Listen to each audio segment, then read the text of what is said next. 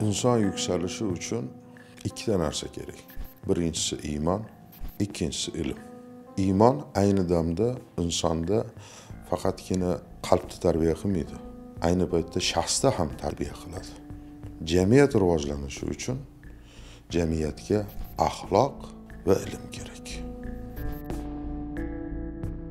har birimiz uchun har bir musulmon uchun birinchi ustoz birinchi muallim albatta payg'ambarimiz muhammad sallallohu alayhi vasallamdir hayotimiz davomida uchragan va bizga hayotiy bir saboq bergan har bitta inson muallimdir. Hayotimda alohida o'rin tutadigan ustozlarni so'raydigan bo'lsangiz eng avvalo mani ustam sangtarosh ustam samarqandlik mo'min kamolov. Mening birinchi ustozim desam adashmayman chunki shu inson birinchi bo'lib qo'limga dastgoh berib faqatgina hunar emas balki hayotdan ham juda ko'p darslar saboqlar berganlar alloh u kishidan rozi bo'lsin. Ayollarning shu holatiga tushishiga erkaklar sababchi. Erkakki hamiyatsiz bo'lsa erkakki oriyatsiz bo'lsa erkakki rashksiz bo'lsa ayol buzilishi mumkin. Bugungi ro'y berayotgan narsalar uchun biz erkaklar mas'ulmiz. Atrofimiz uchun mas'ulmiz jamiyatimiz uchun mas'ulmiz. Hech qaysi bir ayol hayosizlikni orzu qilmaydi. Hech qaysi bir ayol buzuq degan nom chiqarishni orzu qilmaydi. Ayollarni asrash degani ayollarga ko'proq g'amxo'rlik qilish degani. Bizni boshimizga millat sifatida nimaiki kelgan bo'lsa ayolga noto'g'ri munosabat mahsuli o'laroq boshimizga keldi. Vatandosh opamizni singlimizni onamizni onaxonlarimizga dunyoni istalgan burchagida noto'g'ri bir munosabat hurmatsiz bir munosabatga biz loqayd bo'lsak biz hech qachon millat sifatida ulug'lana olmaymiz. Mana shu nuqtai nazardan davlatimizni prezident boshchiligida suriyadan o'sha ayollar va bolalarni olib kelib ega chiqishi o'zbekni qaddini ko'tardi. Dunyoda o'zbek xoru zor degan bir fikrning yakun topishiga asos bo'ldi.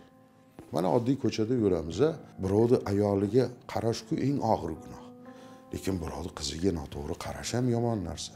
Mana shu narsalar unutilib ketayotganday go'yo. Ko'p kuzatganman dunyoni istalgan mamlakatiga boring. Afrika bo'ladimi yevropasi bo'ladimi? Chechen ayollariga noto'g'ri munosabat yo'q deyarli. Buni orqasida qo'rquv bor. Nimaga? Chunki chechenlarni hamiyati juda yuksak va faqat og'izda emas.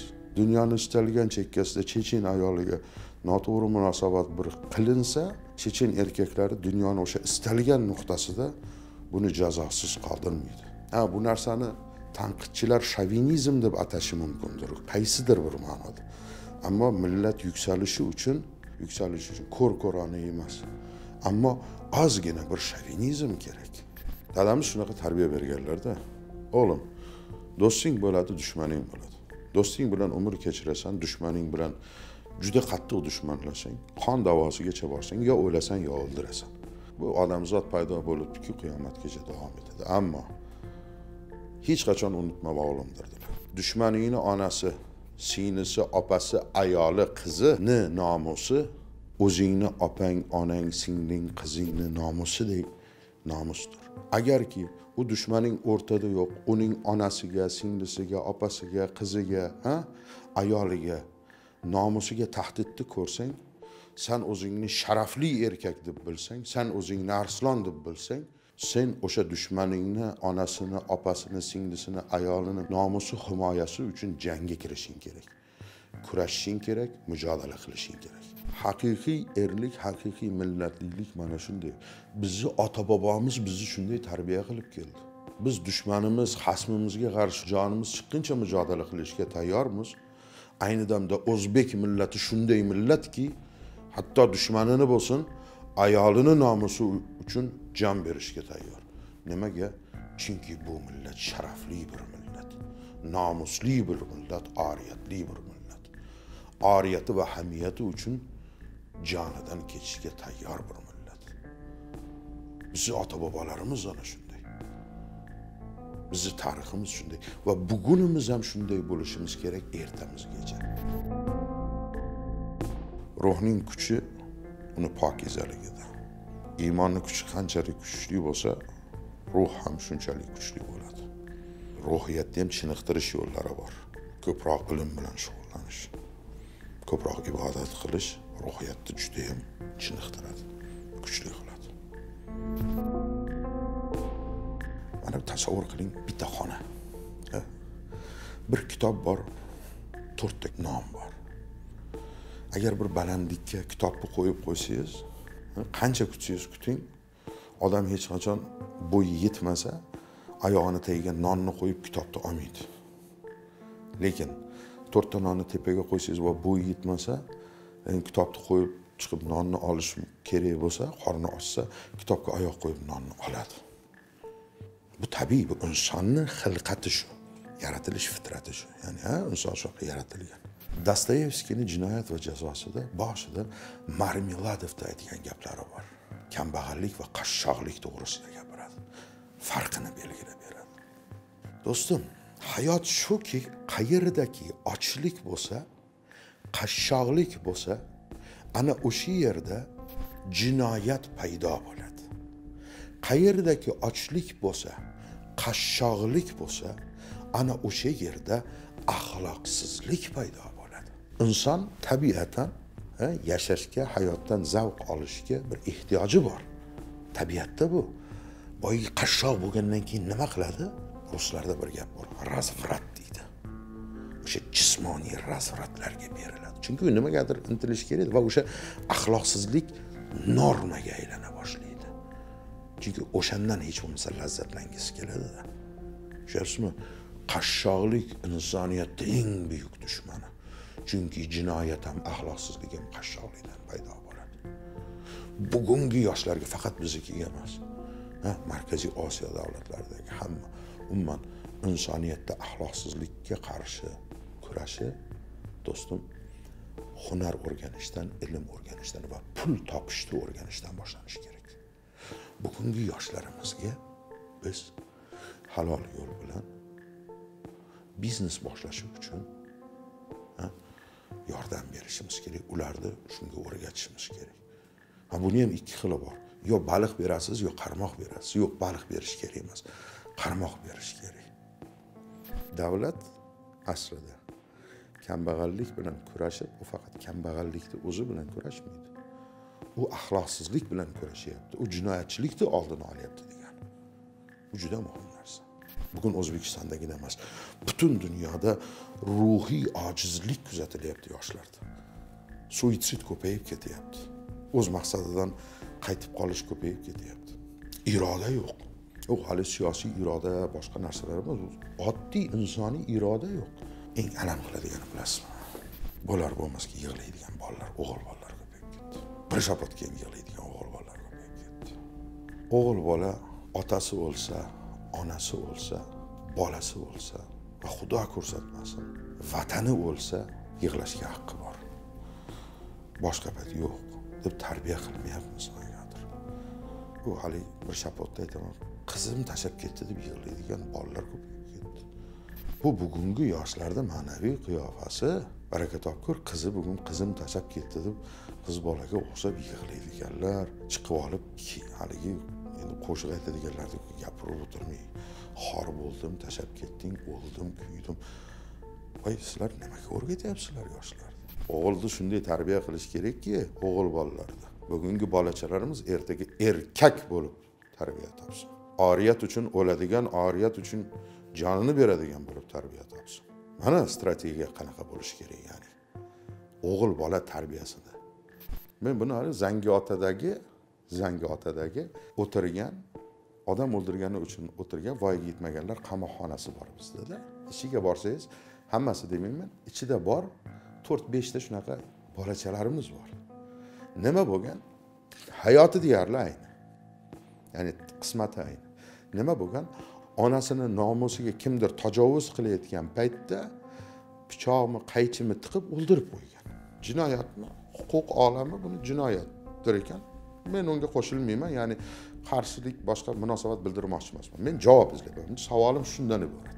Onasini nomusi uchun nomusini himoyasi uchun harakat qilgan himoya qilgan bolani qamoqqa tikar ekanmiz.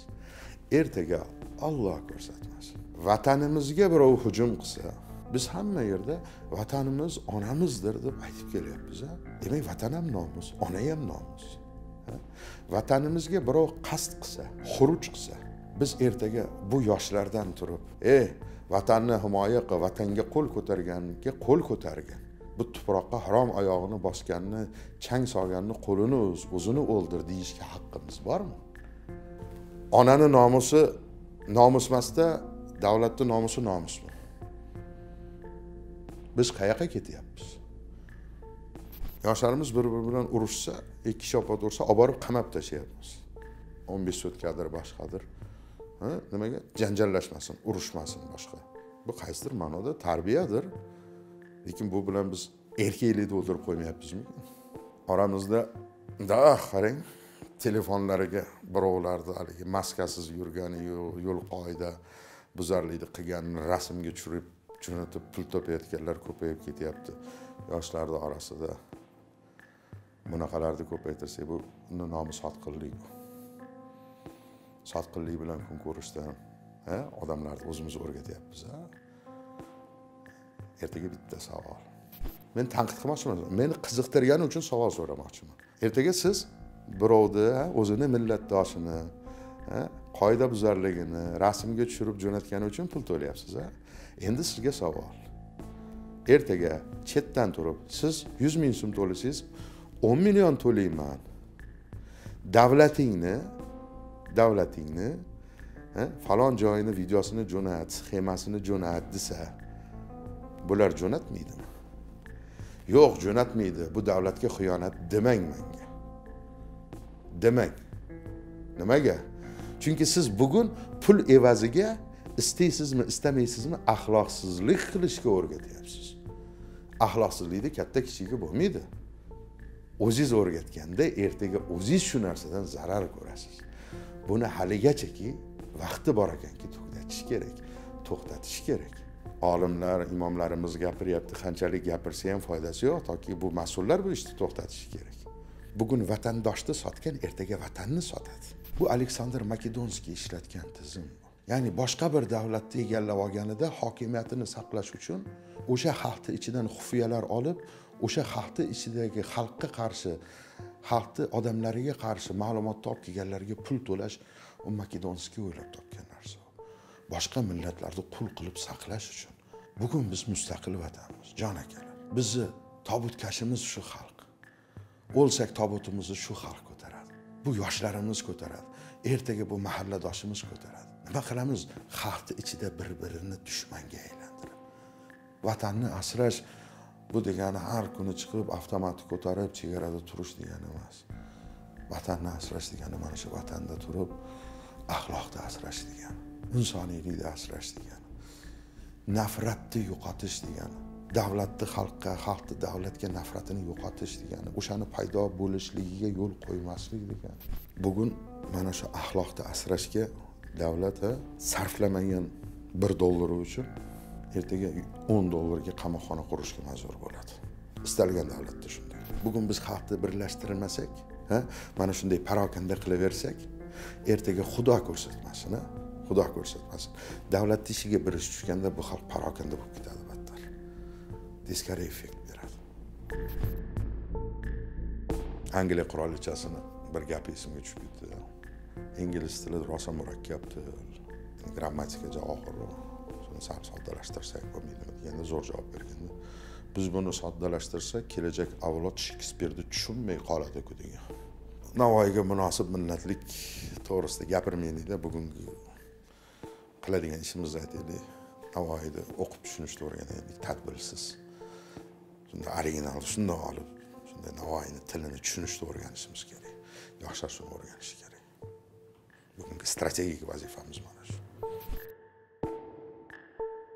roviylar aytadida emishki muso alayhissalom alloh bilan rozi aytilganda alloh taolo so'ragan ekan. Ey muso mani uchun nima qilding desa yo robbiy namoz o'qiyapman. Buyurganim uchun o'qiyapsan. Ro'za tutyapman. Sog'lig'ing uchun tutyapsan. Zakot ehson sadaqa qilyapman. Boshingga keladigan balolarni oldini uchun olish uchun sadaqa beryapsan so muso alayhissalom yig'lagan ekan yo rabbiy nima qilay san uchun? Mani roziligim uchun bir bandamni sev va do'st tut degan ekan. Do'stlik ana o'sha ondan boshlab ilohiy bir ma'no kasb etgan. Alloh uchun sevish do'stni kerak bo'lsa jonini do'sti uchun berishga tayyorlikdir. O'zidan ko'ra ko'proq do'stini sevishdir. O'zidan ko'ra ko'proq sevishdir. Mehnat muhojiri mana shu yerda qarzga pul olib chet elga borib ish topib nonu rizqini topib eplagani millioner bo'lib boy bo'lib eplamagani haliyam kunini ishlab ammo o'sha yerda halol rizq non topib shu davlatga pul jo'natayotgan har biri erkak bolalar erkaklar ukalarim akalarim ular mani faxrlarim. Chet elga borib nomusini saqlab halol mehnat qilib pul topayotgan opalarim singillarim ular bu millatni qahramonlaridir. Istagim bor orzuyim borki bizni hukumatimiz bir qaror qabul qilsada masalan yiliga o'n ming yo besh ming dollar pul doimiy ravishda jo'natib turayotgan mehnat muhojirlarimizga soliq preferensiyalari yer solig'idan ozod qilish va imtiyozli uylarni o'shalarga berish kerak. Chunki ular bu yerda mamlakatni ichida pul topmayapti ular chetdan pul olib o'zbekistonga jo'natyapti. Ana o'shalarga imtiyoz berish kerak. Judayam istardim shu narsani bugun eng kami to'rt besh milliard chet eldan pulni mana shular olib kelyapti. Ming marta rahmat shular. Men chin samimiy boshimni egib ta'zim qilib minnatdorchilik bildiraman mana shu mehnat muhojirlariga sizlar mening qahramonlarimsiz deyman millatchilik emas milliyatchilik juda muhim milliyatchilik ha dunyoni istalgan mamlakatni deylik fransiyani olaylik yevropadagi eng tolerant davlatlardan bittasi ammo fransiyani davlat apparatlarida qanchalik tolerant bo'lmasin muhim strategik nuqtalarda faqat va faqat toza fransuzlargina egallashi mumkin. Hatto onasi boshqa millatdan bo'lganlar ham egallashi mumkin emas. Nimaga? Bu narsa millatchilik deb atalmaydi. Bu narsa milliyatchilik deb ataladi. Bu narsa milliy manfaatlarni himoya qilish deb ataladi. Chunki davlat o'z mavjudiyatini saqlash uchun o'z mahramiyatini asrashga majbur. Ya'ni sirlarini asrashga majbur. Fransiya davlatini sirlarini asrash faqatgina fransuzlarga topshiriladi. Hech kim bu narsani millatchilik deb baholamaydi. Bu milliy manfaatlarni himoya qilishni tabiiy yo'li deb baholanadi. Mana siz o'zasiz hayotda g'oyasiz yasha olasizmi? Siz g'oyasiz yashamaysiz men g'oyasiz yashamayman g'oyasiz inson nima? Quruq iste'molchi manqurt. G'oyasiz inson manqurt bo'lgandan keyin g'oyasiz fikrsiz jamiyatda manqurt bo'ladi. Va bu mafkurasiz yashash mumkin emas. Fikrsizlik tanazzuldir. Mafkura bu fikrdir.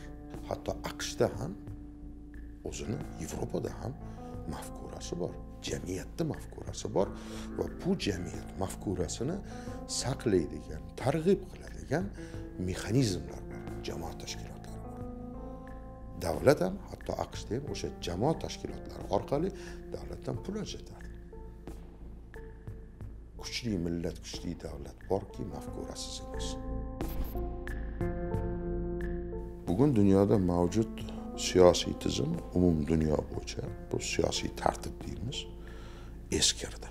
Bugun buni xalqaro siyosatdagi eng katta kuchli ta'sirga ega bo'lgan aqsh rossiya xitoy angliya buyuk britaniya. Bu narsani tan oldi va aksariyat siyosatchilar bugungi dunyoviy tartib o'zini oqlamay qo'yganini ta'kid etishmoqda. Xo'sh bu dunyoviy tartib o'zi qachon paydo bo'ldi degan bir savolga javob berib ketishimiz kerakda shu o'rinda. Bu dunyoviy tartib bir ming olti yuz o'n sakkizinchi yildan bir ming olti yuz qirq sakkizinchi yilgacha o'sha yevropadagi o'ttiz yillik urushdan charchagan yevropa hukmdorlari bir o'rtaga o'sha elchilarini yuborib qabul qilishgan o'zaro bir kelishuvlar bo'lgandan keyin paydo bo'ldi va bu vestfal shartnomasi deb ataldi. Bu yerda hamma bir joyda yig'ilib olib yagona bir qabul qilinmagan bu vestfal shartnomasi haqida uni jarayonlari haqida juda bir qiziq hodisalar bo'lgan ya'ni juda bir qiziq juda uzun davom etgan. Hatto ba'zi bir elchilar ishonasizmi o'sha festivalga shartnomasini muzokarasiga borib ba'zilari og'ilxonalarda yashashga majbur bo'lishgan joy topisholmagan bu haqida alohida bir to'xtalamiz. Ammo bugungi dunyoviy tartib aynan ana o'sha vestfil shartnomasiga asoslangan xalqaro munosabatlarga asoslangan edi. Va bu o'sha bir ming olti yuz qirq sakkizinchi yildan bugungi kunga qadar e, o'sha dunyoviy tartibni bir asosi sifatida keldi. Ammo bugun bu eskirdi tizim. Bir ko'rsatkichlardan bittasi o'sha masalan birlashgan millatlar tashkilotini e, bugungi birlashgan millatlar tashkilotini mavqeini tushib ketayotganidan siyosiy bir kuch sifatida kuchsizlanayotganidan ko'rishimiz mumkin.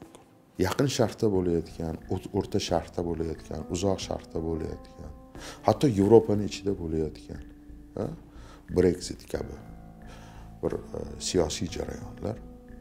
Bular hammasi dunyoviy bir siyosiy tizimda xaos paydo bo'lganini ko'rsatadi. Bugun manfaatlar to'qnashuvi geostrategik geosiyosiy manfaatlar to'qnashuvi shunchalik kuchayib ketdiki do'st kim dushman kim ertaga nima bo'ladi degan savolga e, savollar javobsiz qolyapti. Va bugun dunyo siyosatchilari buni tushunib o'tiribdi. Yangi bir siyosiy tartib vujudga kelishi lozim ekanligini o'zlari ham e'tirof etyapti. Ya'ni biz mamlakat o'laroq davlat o'laroq dunyoda murakkab siyosiy jarayonlar kechayotgan bir davrda yashayapmiz. O'zbekiston ichida emas butun dunyoda. Ha bu yangi tartibda bu yangi dunyoviy tartibda bizning o'rnimiz qanday bo'ladi? Davlat sifatida qolamizmi? Mavjud bo'lamizmi? Mavjud bo'lmaymizmi? Agar mavjud bo'ladigan bo'lsak qaysi shartlarda mavjud bo'lamiz? Ya'ni dunyoviy tartibda o'zimizni so'zimizga ega bo'lamizmi yo'qmi? Bugun masala mana shunchalik og'ir mana shunchalik keskin qo'yilgan. Uni millat yaxshi anglab yetishi kerak. Ishonavering yaqin o'ttiz yilda ko'pgina koalitsiyalarga bo'linish ko'pgina davlatlarning yo'qolishi qaysidir koalitsiyalarning paydo bo'lishi ittifoq davlatlar paydo bo'lishi kutilmoqda. Bitta narsani bilish kerakda bu ittifoqdosh mamlakatlar paydo bo'lishi yoki qaysidir koalitsiyaga a'zo bo'lish bu qaysidir o'sha davlatlarni millatlarni kuchsizligi yoki qullikka intilishi uchun emas. Milliy iqtisodini saqlab qolish uchun milliy o'zligini saqlab qolish uchun o'zini bayrog'ini saqlab qolish uchun qiladigan xatti harakatlari bo'ladi. U qaysi davlat bo'lishidan qat'iy nazar yangi dunyoviy tartib o'zgaradi. Hatto men bu fikrga unchalik qo'shilmayman. Ammo bu fikr oxirgi paytda o'sha xalqaro politologlar orasida tez tez uchrab turibdi. Hatto yangi dunyoviy tartib vujudga kelishi uchun uchinchi jahon urushi bo'lish ehtimoli ham bor. Va ikki ming yigirma uchinchi yildan keyin e, uchinchi jahon urushi boshlanadi degan e, fikrlar ham mavjud. Qanchalik asosli asosli emas buni vaqt ko'rsatadi. Ammo shunday taxminlarni ilgari surayotgan nufuzli va obro'li e, o'sha analitik markazlar analitiklar bor. Aslida e, qaysidir ma'noda ularni ham gapini tagida jon bor. Ya'ni bugun turib siyosiy tartib faqat bizda emas dunyoda shunday davom etadi degan fikr noto'g'ri. Bundan keyin katta o'zgarishlar bo'ladi dunyoda. Eng asosiysi eng asosiysi xudodan ollohdan umid qilib so'raganimiz shuki eng avvalo bizni davlatimiz keyingi o'ttiz yilda o'zini bayrog'ini o'zini hududini har bir qarich hududini saqlab o'zini so'zini ayta oladigan davlat sifatida dunyo siyosiy tartibida o'z o'rniga ega bo'lsin. Bugun davlatimiz mana shu nuqtai nazardan ketib mana shunga harakat qilyapti. So'z erkinligining foyda va zararlari nimada? Men doim abdukarim akani bir hikoyasini eslaymanda ko'p aytganlar. Abdukarim aka qarshi bo'lmasa kerak endi hozir ko'rsatuvdan keyin telefon qilib so'raymiz. Bo'lsa ruxsat bersalar efirga qo'yasizlar bo'lmasa yo'q. Haligi erkinlik qurbonlari degan hikoyasini esladingizmi? Bir ot aravachi bor ekanda. Bir qirq yil o'sha ot aravada shu otda shu aravani ishlatibdi keyin bir kun aytibdi shu uydan bozorga bor ekan. Ikki debdi shu qirq yil ishlatdim debdi. Shu jonini olaman qamchilayman debdi. Shu otga ham shu aravaga ham bir erkinlik beray debdi. Otni qo'yib yuboribdida endi. Anaqasi. Ot birinchi kun yaxshi borib kelibdi ikkinchi kun yo'ldan qochdi qarasa egasi urmayapti hech. O'ngga ketsa chapga chapga ketsa o'ngga tortmayapti. Holiga qani deb bir ikki qadam yurib ko'ribdi. Yo'lidan manzildan adashib. E, ot indamabdi egasi. E debdi. Har tarafga yura boshladi borib kelib o'zini ishini emas boshqa joyga keta boshladi. Arava ham bundoq qarasa haligi yaxshi yursa ham yomon yursa ham indamayapti ekan hech kim yechib olib moylab qo'ymayapti ekan. Erkim o'zimga tegibdi ekan. Istasam yuraman istamasam yo'q. Deb ot istagan tarafiga yura boshlabdi arava istaganida yurib istaganida yurmay boshlabdi oxiri nima bo'libdi bilasizmi? Ot qassobxonaga ketibdi arava o'tinxonaga ketgan ekan. Chegarasiz erkinlik hamisha dahshatli qullikni olib keladi.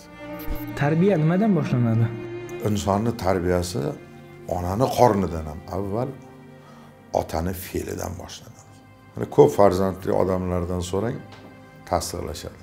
Masalan yigirma besh yoshda deylik farzandingiz tug'ilsa yigirma besh yoshda siz qanaqa fe'l atvorga ega bo'lsangiz e, bosiq bo'lsangiz masalan e, yo bir xayolparast bo'lsangiz romantik bo'lsangiz yigirma besh yoshda shu holatingizda tug'ilgan bolangiz umrbod ana shunaqa xayolparast romantik bo'ladi.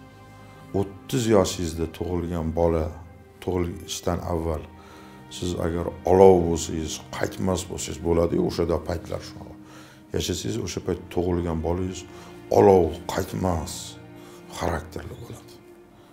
Qirq yoshga borib bir farzandingiz tug'ilsa siz bir oqil qirq yoshdan inson ancha o'ychan aqlli bo'lib qoladi. Qirqta yoshdan balandda tug'ilgan odamlardan so'rang o'sha holatda qanday bo'lsa farzandi umr bo'yi o'shanaqa odam bo'ladi. Ellik yoshda eng injiq payt bo'ling injiq paytingiz bolangiz tug'ilsin o'sha bolangiz bir umr injiq bo'lib fe'l-atvor shunday o'tib qoladi. Shuning uchun aytyapman bolani tarbiyasi otani belidan boshlanadi. Onani qornidan emas. Siz hech qachon esingizdan chiqarmang. Sizni fe'l atvoringiz bola sizni nusxangiz kopiyangiz siz tuzuk bo'lingki bolangiz tuzuk bo'lsin. Siz hayotni sevingki bolangiz hayotni sevsin. Siz umidsizlikka tushmangki bolangiz umidsizlikka tushmasin ikkinchi bosqich onani qornida bo'ladi tarbiya. Bolaga o'sha tug'ilmagan bolaga ertak aytib berish kitob o'qib berish musiqa eshittirish bu ham bolani ruhiyatiga ta'sir qiladi. Mana hammamiz bolamizni yaxshi ko'ramiz bola uchun eng katta erkak kishini ota bo'lib beradigan eng katta sovg'asi nima? Hech o'ylab ko'rganmiz. Eski javobini aytaman. Bolangiz uchun hayotingiz davomida berayotgan eng katta sovg'a eng katta yaxshilik onasidir. Siz uylanayotganingizda o'zingizga xotin olmayapsiz. Siz bolangizga ona olasiz. Mana shu nuqtai nazardan tanlang. Eng katta qilgan yaxshiligingiz shu bo'ladi. Aytishadiyu qanaqasiga uylandi? Uch xiliga uylaniladi moli davlati boriga go'zalligiga go'zalligiga qarab va iymoniga qarab ahliga qarab boshqaga qarab. Birinchi moliga qarab uylansangiz ham husniga qarab yo'qotib ikkalasida ham yo'qotasiz.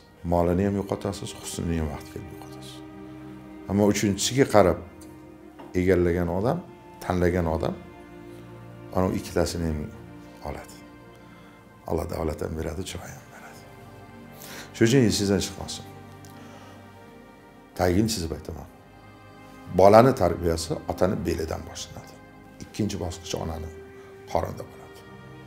Va bolangizga qilayotgan eng katta yaxshiligingiz eng katta sovg'ingiz bu unga ona tanlashingizdir uylanmagan ukalarimiz esdan tutsin. Siz o'zingizga xotin olmayapsiz. Siz bolalaringizga ona olyapsiz. Go'zallik nimada deb o'ylaysiz? Go'zallik marhamatda ilmda takallufda nazokatda. Qachonki inson takalluf qilishdi lutf bilan munosabat qilishdi nazokat bilan harakat qilishdi nazokat bilan lutf bilan gaplashishdi. O'rniga qo'ysa bu narsalar hammasi nima deb aytiladi axloq deyiladi ya'ni go'zallik axloqda. Bu insonni siyrati suratni go'zalligi nimada desangiz mavjudiyatida har bir inson Allohning asaridir. Bir narsani ko'rasiz a go'zal bir narsani ko'rasiz. Ko'rganda vah! deysiz a aslida o'sha siz ko'rgan asar muassir bilan ya'ni yaratgan bilan bog'liqda siz undan hayratlanishingiz asardan hayratlanishingiz aslida muassirni go'zalligidan qobiliyatidan darajatidan. Shuning uchun men uchun hamma go'zal inson bu dunyoda hamma narsani robbim yaratdi.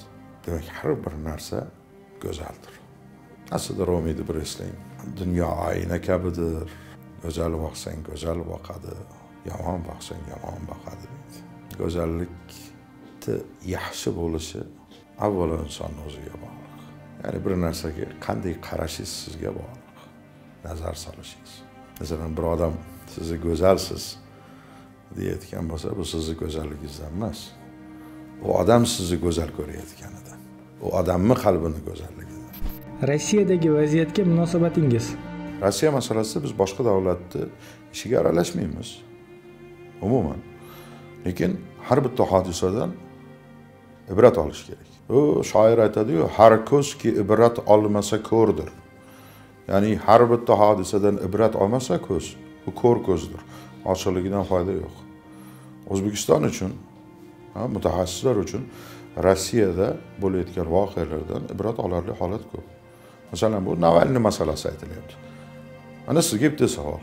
Masalan oddiy bir rossiya fuqarosi zaharlanib qolsa yo mazasi bo'lmasa uni germaniyaga olib borib yopiq tarzda davolab agar u proyekt bo'lmasa. Kim uni davolaydi yopiq tarzda davolab va rossiyaga qaytib kelishi bilan butun informatsion imkoniyatlar uni himoyasiga qaratilishi.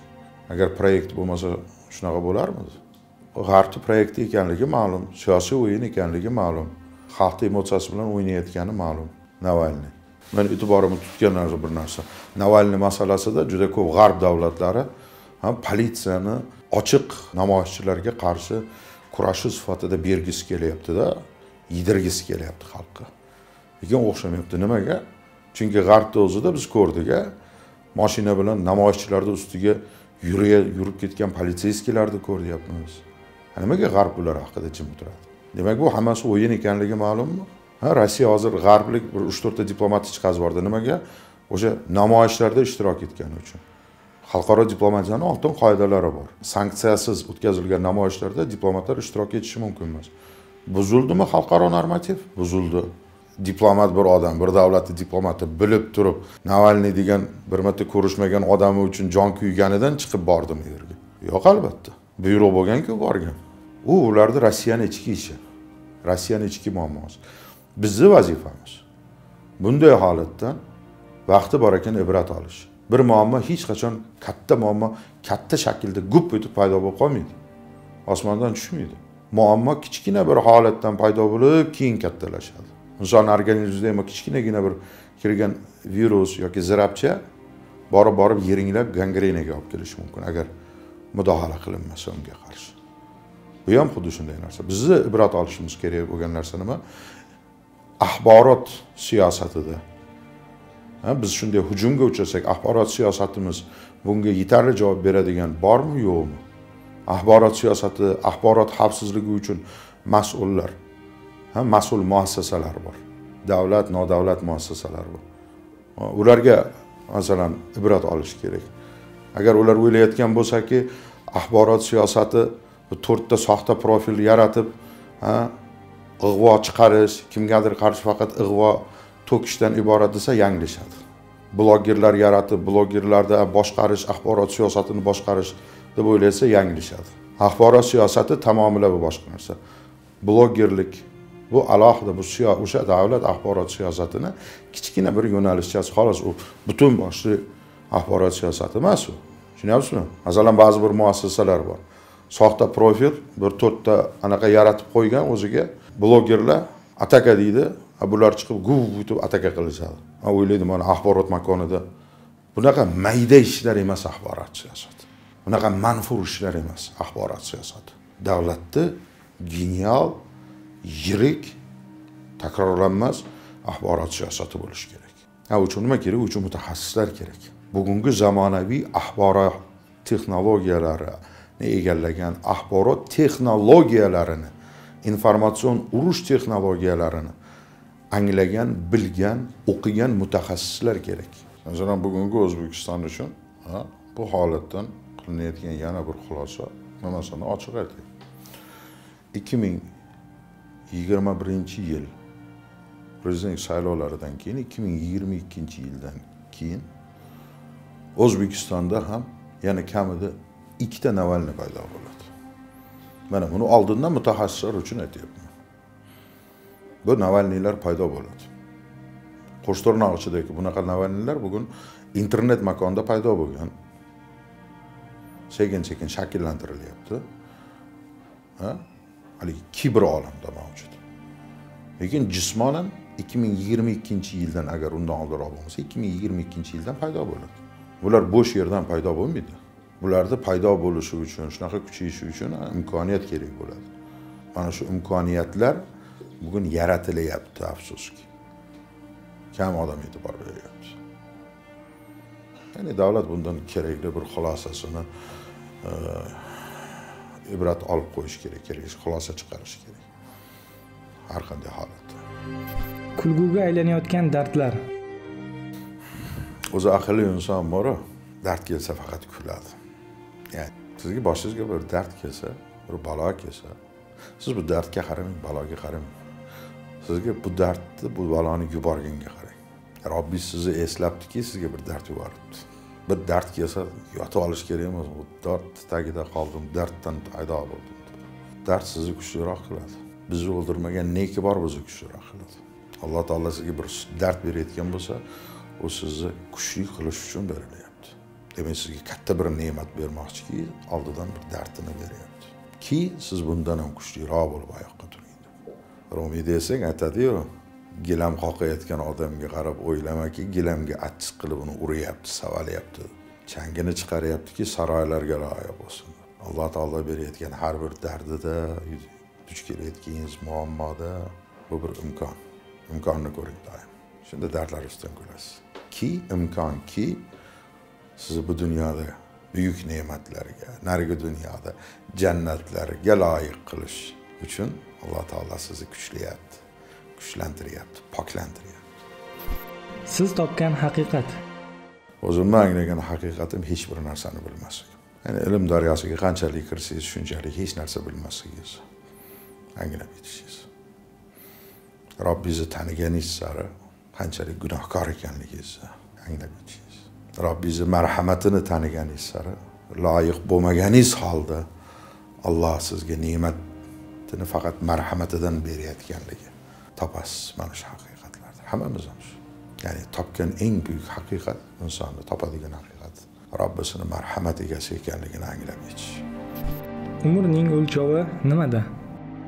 Umrning o'lchovi qilgan amallarda qilingan amallarda qilingan xayrli ishlarni miqyosida. Umrda aslida bitta o'lchov bor. Eng oliy o'lchov bor umr yo yaxshi yashaladi yo yomon yashaladi hammamiz ham o'lamiz yelkaga olib borib qabristonga olib borib qabringizga qo'yib ustingizni shundoq ko'mishda avvalmi endi ba'zi bir joyda ko'mishdan avval so'raydi ba'zi bir joyda ko'mishdan keyin so'raydi. Rahmatli qanaqa odam edi deganda mana o'sha o'lchov beradi o'sha bahoni o'sha beradi o'sha gap beradi. Rahmatli yaxshi odam edi desa hay hay. Hech kim yerda rahmatli falon mansab egasi edi. Falonday sarvat egasi edi demaydi yo yaxshi edi deydi. Yo indamay qo'yadi u degani yomon degani endi. Umrni qancha yashaganingiz muhim emas. Qanday yashaganingiz muhim? Qisqa bo'lsada qanday yashaganingiz muhim? Nimani uchun yashaganingiz muhim? Umrni o'lchovlari mana shulardan. Ya'ni qancha emas qanday yashagani umr o'lchovi bo'ladi. Albatta katta ishlar qilish uchun yuz yil yashash shart emas zo'r yashadi deb baholanish uchun yaxshi yashadi. Yoki katta bir davlatni egasi bo'lish shart emas. Yoningizdagi odam ko'ngilni obod qiling ko'nglini omad qiling. Bir vayron ko'ngilni obod qilib qo'ying. O'sha umringizda ma'nisi shu bo'ladi ya'ni hayotingizda ma'nisi shu. Endi roviylar rivoyat qiladida ustozlardan eshitganimiz. Birisi bir narigi dunyoga o'lib savol javobga borsa bo'ldi jannatga kirdi deyishibdida u hayron bo'lib so'rabdi. Man bir ko'p ichadigan odam edim hamma bilan janjal qiladigan odam edim qanaqa qilib man jannatga kiraman? Nimaga jannatga kiraman desa javob berishgan ekanda yodingdami falon? yili falon kecha ichib turib loyga ag'anab ketuvding loyga ag'anagingni ko'rib bir bolacha kulib qo'ydi san turib shu bolachani ko'rib boshini bunday silab qo'ydingda unga tabassum qilib qo'yding. U bola yetim edi o'shanda qalbini quvontirding bitta harakating bilan o'shani savobiga jannatga kirasan deyishgan ekan. Maqsadga qanday erishiladi? Maqsadga chekinmaslik deydi chekinmaslik bilan erishiladi. Maqsadni qo'ydim hech qachon o'ylamayman maqsadni qo'ydingiz. Oldinda roppa ravon yo'lda tekis asfaltda moshinaga o'tirib menga qo'yib yetib olaman yo'q maqsad sari ilgari qilganda chekinmaslik eng muhimi. Ko'p insonlar hamma yoshligidan buyuk maqsadlarga qo'yadi. Lekin ko'pchilik yetmaydi maqsadiga bilasizda sababi bitta birinchi yo ikkinchi qarshilikka duch kelganida darrov ortga qaytadi yo maqsadidan qaytadi. Bilib qo'ying siz bir narsani istayotgan bo'lsangiz qachonki siz o'sha istagan narsangizga loyiq bo'lganingizdagina u narsa sizniki bo'ladi. Robbim adolatli. Siz hayotda nimaiki topayotgan bo'lsangiz loyiqini topayapsiz. Loyiq bo'lganingizni topayapsiz. Loyiq bo'lganingizga erishyapsiz. Maqsadni ulug' qilib qo'ydingizmi? O'sha maqsadga siz ham yetishingiz kerak. Yo'lingizda chiqadigan g'ovlar qiyinchiliklar sizni o'stiradi qalban o'stiradi. Ijtimoiy bir o'sishingizga sabab bo'ladi. Ya'ni kurashuvchanligingizni kuchingizni orttiradi. O'sha ma'lum bir darajaga o'sha unga o'shani istagan narsangizga loyiq bo'lganingizdan keyin eng tez erishasiz. Faqatgina qaytmaslik shart va loyiq bo'lish kerak. Sizni qaysi savollar qiynaydi? Menimi? Meni eng ko'p qiynayotgan hozirgi kunda bugun mani qiynayotgan savol yigirma ikkinchi asrda o'zbek davlati mavjud bo'ladimi va o'zbek millati millat sifatida mavjud bo'ladimi? Meni eng ko'p hozir qiziqtirgan savol shu. Etnografik nuqtai nazardan mavjud bo'lamizmi? Davlat o'laroq mavjud bo'lamizmi? Mustaqil davlat o'laroq mavjud bo'lamizmi? Suveren davlat sifatida mavjud bo'lamizmi? Yigirma ikkinchi asrda o'zbek imperiyasi paydo bo'ladimi? Beklar imperiyasi paydo bo'ladimi? Bekzodalar bo'ladimi? Mana shunday savollar meni qiynaydi. Erkakni nima sindiradi? O'zi hech qachon sinmasligi mumkin qat'iyatli bo'lishi mumkin. Umuman inson zoti umidini uzmasa hech qachon sinmaydi. Allohdan umidini uzmasa hech qachon sinmaydi. Ammo tashqaridan sindirish mumkin. Pichoq qilib pichoqlab o'ldirsa ham u odamni sindira olmaslik mumkin shaxs sifatida. O'q uzib o'ldirsa o'ldirarsiz lekin u odamni sindira olmasligingiz mumkin tashqaridan faqat nomussizlik nomusi bo'lsa o'sha yonidagilarni nomussizligi. Uni nomusini tashuvchilar qizidir ayolidir onasidir opasidir. Ana o'shalarni nomussizligi erkakni sindirib qo'yadi. Ya'ni o'lgandan battar qiladida. Shuning uchun ayollar o'zi oid bo'lgan erkakka akaga otaga otani nomusini tashuvchi erkakligi g'ururini tashuvchi ekanligini unutmaslik kerak ayollar ya'ni ayol qilayotgan har bitta ishida man bu bilan dadamni akamni kimnidir nomusini g'ururini sindirib qo'ymayapmanmi deb o'ylash kerak ayol kishi. Mana shu mas'uliyat mani qo'limda deb o'ylash kerak. Otasinimi akasinimi o'g'linimi ukasinimi farqi yo'q. Ana shu erkakni mana shu narsasini. Xalqni nima birlashtiradi? Milliy manfaatlar birlashtiradi. Mana ikkita odam ikkita odam tabiatdan qanday? Ikkita odam bor shu ikkita odam bir ish qilish uchun demak bu ish ikkalasi uchun ham manfaatli bo'lishi kerak. Manfaat jamoalarni shakllantirdi. Jamoalarning o'zaro manfaati xalq sifatida birlashishga olib keldi. Ya'ni yagona bir maqsad manfaat g'oya birlashtiradi. Ammo bugungi texnologiyalarda bugungi mavjud texnologiyalarni oladigan bo'lsak e, inson ongi inson zehniyati bilan o'ynaydigan zehniyatini boshqaradigan texnologiyalar bor a. Mana shular bilan g'oya bilan insoniyatni birlashtirsa bo'ladi ya'ni insonlarni birlashtirsa bo'ladi xalqni ham birlashtirsa bo'ladi. Ya'ni qarang ham g'oya bilan ham manfaat bilan g'oya bo'lib manfaat bo'lmasa u ham uzoqqa bormaydi. Ammo manfaat bo'lib g'oya bo'lmasa mana qarang agar g'oya bo'lsa lekin manfaat bo'lmasa u birlashib uzoqqa bormay keyin tarqalib ketadi. Ammo manfaat bo'lib lekin g'oya bo'lmasa birlashtiradigan u tarqalib ketishga emas u to'ppa to'g'ri falokatga olib boradi. Shuning uchun ham manfaat ham g'oya birlashtiradi. Xatolar qayerdan boshlanadi? Xato qilishdan qo'rqishdan boshlanadi. Qo'y xato qilmasligim kerak deb yashayotgan inson bor albatta xato qilib qo'yadi. Eng boshi shu bo'ladi. Biz hayotimizda ko'p yonimizdagi odamlarga nisbatan xato qilamiz. Yomon niyatda qilmaymiz. Ko'nglini ranjitib qo'yishdan qo'rqamiz yoki yanada xursand qilishdan ko'nglini olish uchun boshlanamiz. Xatolar yolg'ondan boshlanadi va qo'rquvdan boshlanadi. Ya'ni qo'rquv sabab yolg'on paydo bo'ladi. Yolg'on sabab xato vujudga keladi inson hech qachon yashayotgan paytda xato qilishdan qo'rqmaslik kerak qasddan xato qilish boshqa narsa ya'ni oldingizda bir yangilik turibdi bir eh? maqsad turibdi shunga erishish uchun har xil yo'lni sinab ko'raverish kerak xato qilishdan qo'rqmaslik kerak biz insonmiz. Biz xatolimiz. Biz xato qilganimiz uchun bu dunyoda yuribmiz. Narigi dunyoda jannatga loyiq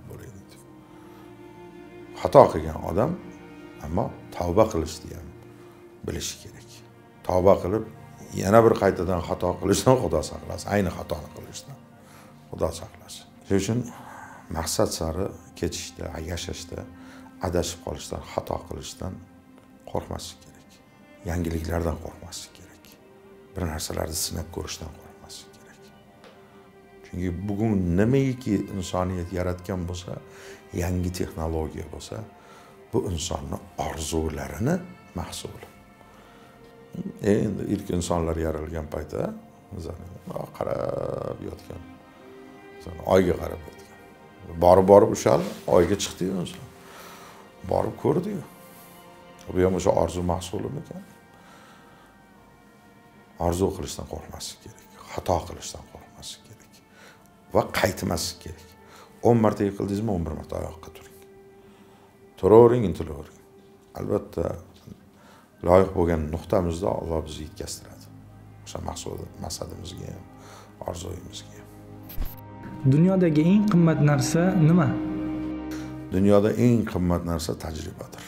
Chunki siz maqsadingizga erishish uchun erishish uchun tajriba orttirish uchun umringizni sarflaysiz va bu sarflangan umrni dunyoda hech bir narsa orqali qaytarib ololmaysiz sotib ololmaysiz. Shuning uchun dunyoda eng qimmat narsa tajribadir. Va tajriba boya aytganimiz xatolarni mahsulidir. Bugun agar qaysidir narsa yaratilgan bo'lsa bu o'sha test sinovlari deydi. Test sinovlaridan o'tib xatoliklari to'g'irlangan mukammallikka yaqin bir darajaga kelgandan keyin mahsulot o'laroq chiqariladida. To'g'rimi? Sinab ko'riladi sinovlardan. Keyin bo'ladi. Demak xatoliklar tuzatiladi. Inson ham xuddi shunday. Xato qilib qilib qilib sekin sekin to'g'irlanadi ammo asosiysi yetarki to'xtab qolmaslik kerak. Doimo intilish kerak.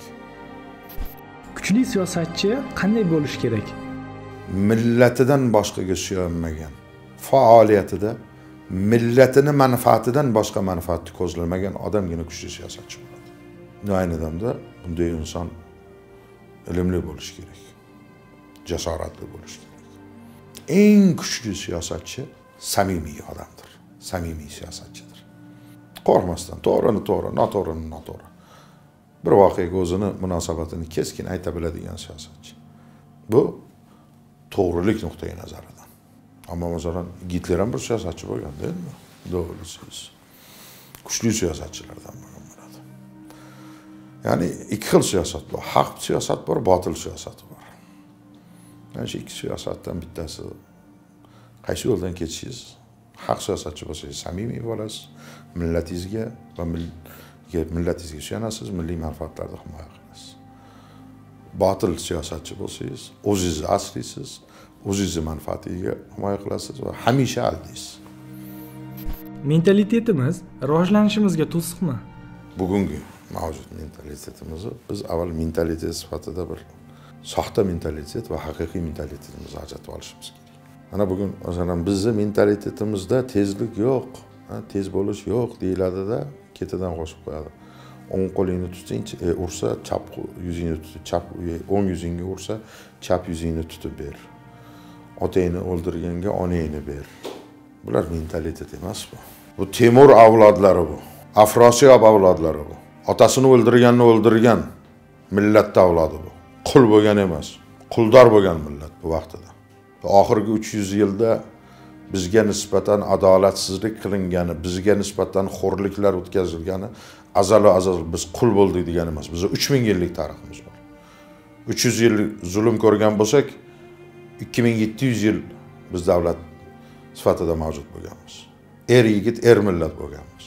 Bizni mentalitetimizda bunaqa pastkashlik o'zini o'zi xo'rlovchi narsalar yo'q narsalar. Soxta bo'lmagan narsalar bular.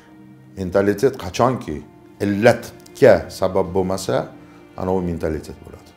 Agar mentalitetingiz illatga olib kelayotgan bo'lsa zillatni vujudga keltirayotgan bo'lsa albatta rivojlanishga to'siq bo'ladi.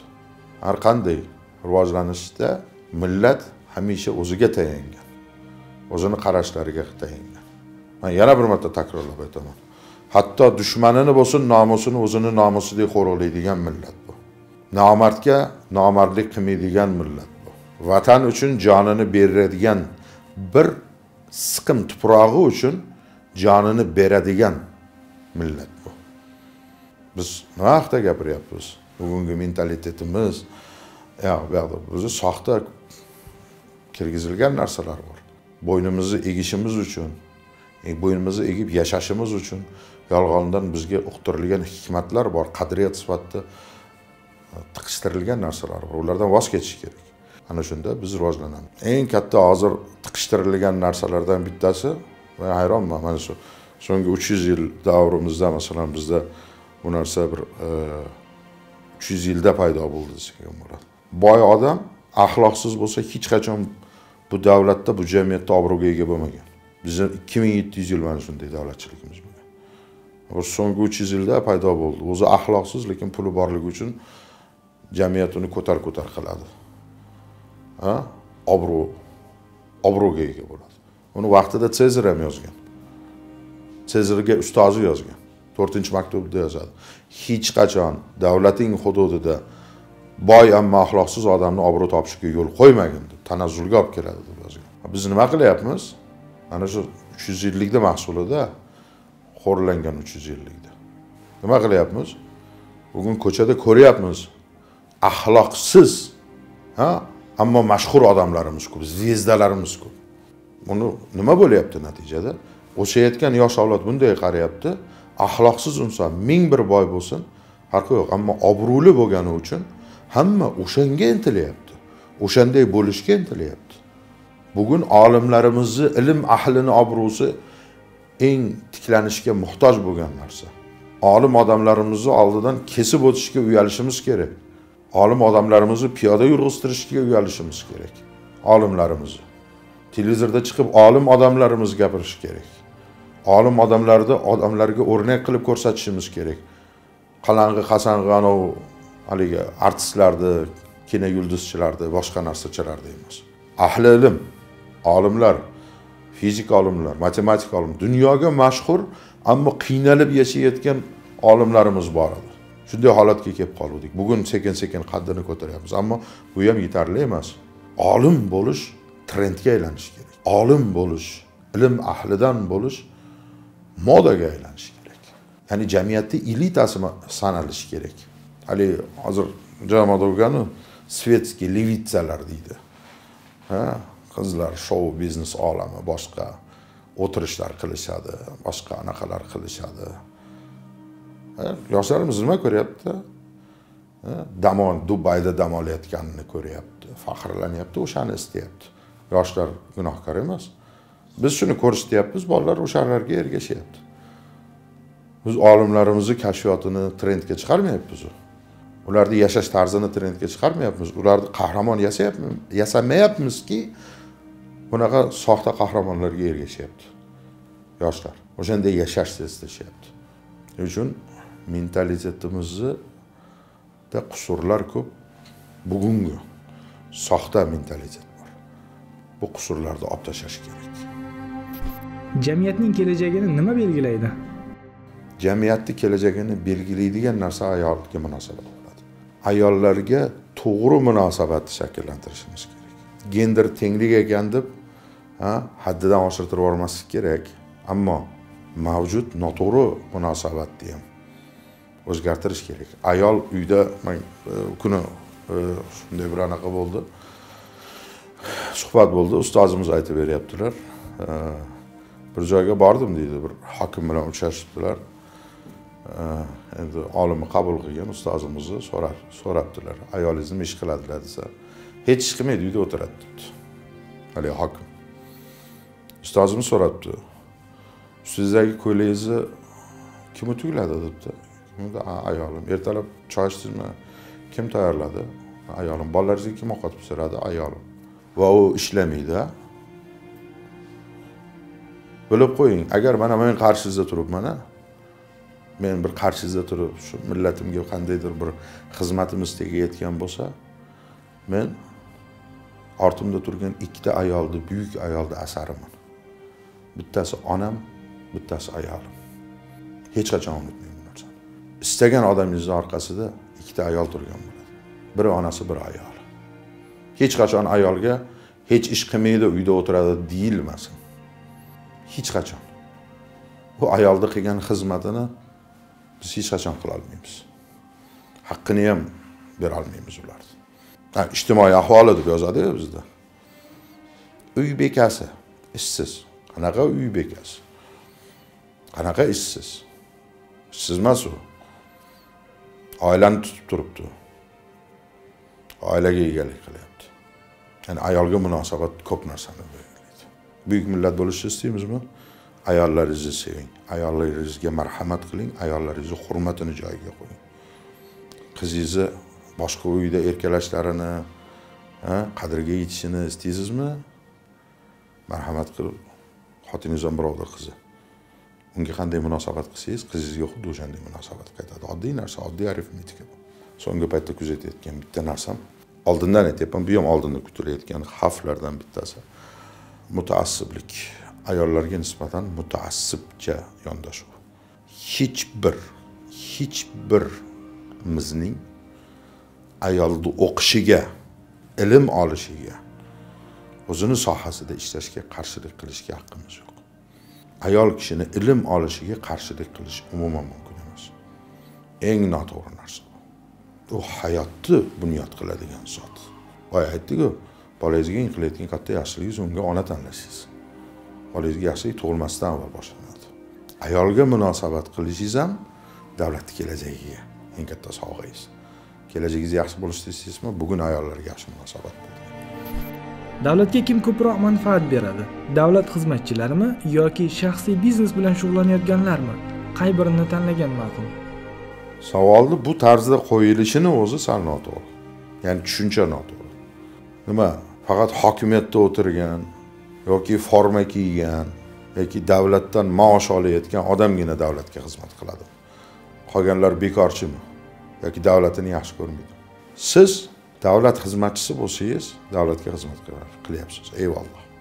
Ammo unutmang o'zini kuchi bilan aqli bilan bu davlatda biznes ochib xalqaro bizneslarni qilayotganlar kompaniya qurayotganlar xususiy sektorda ishlayotganlar.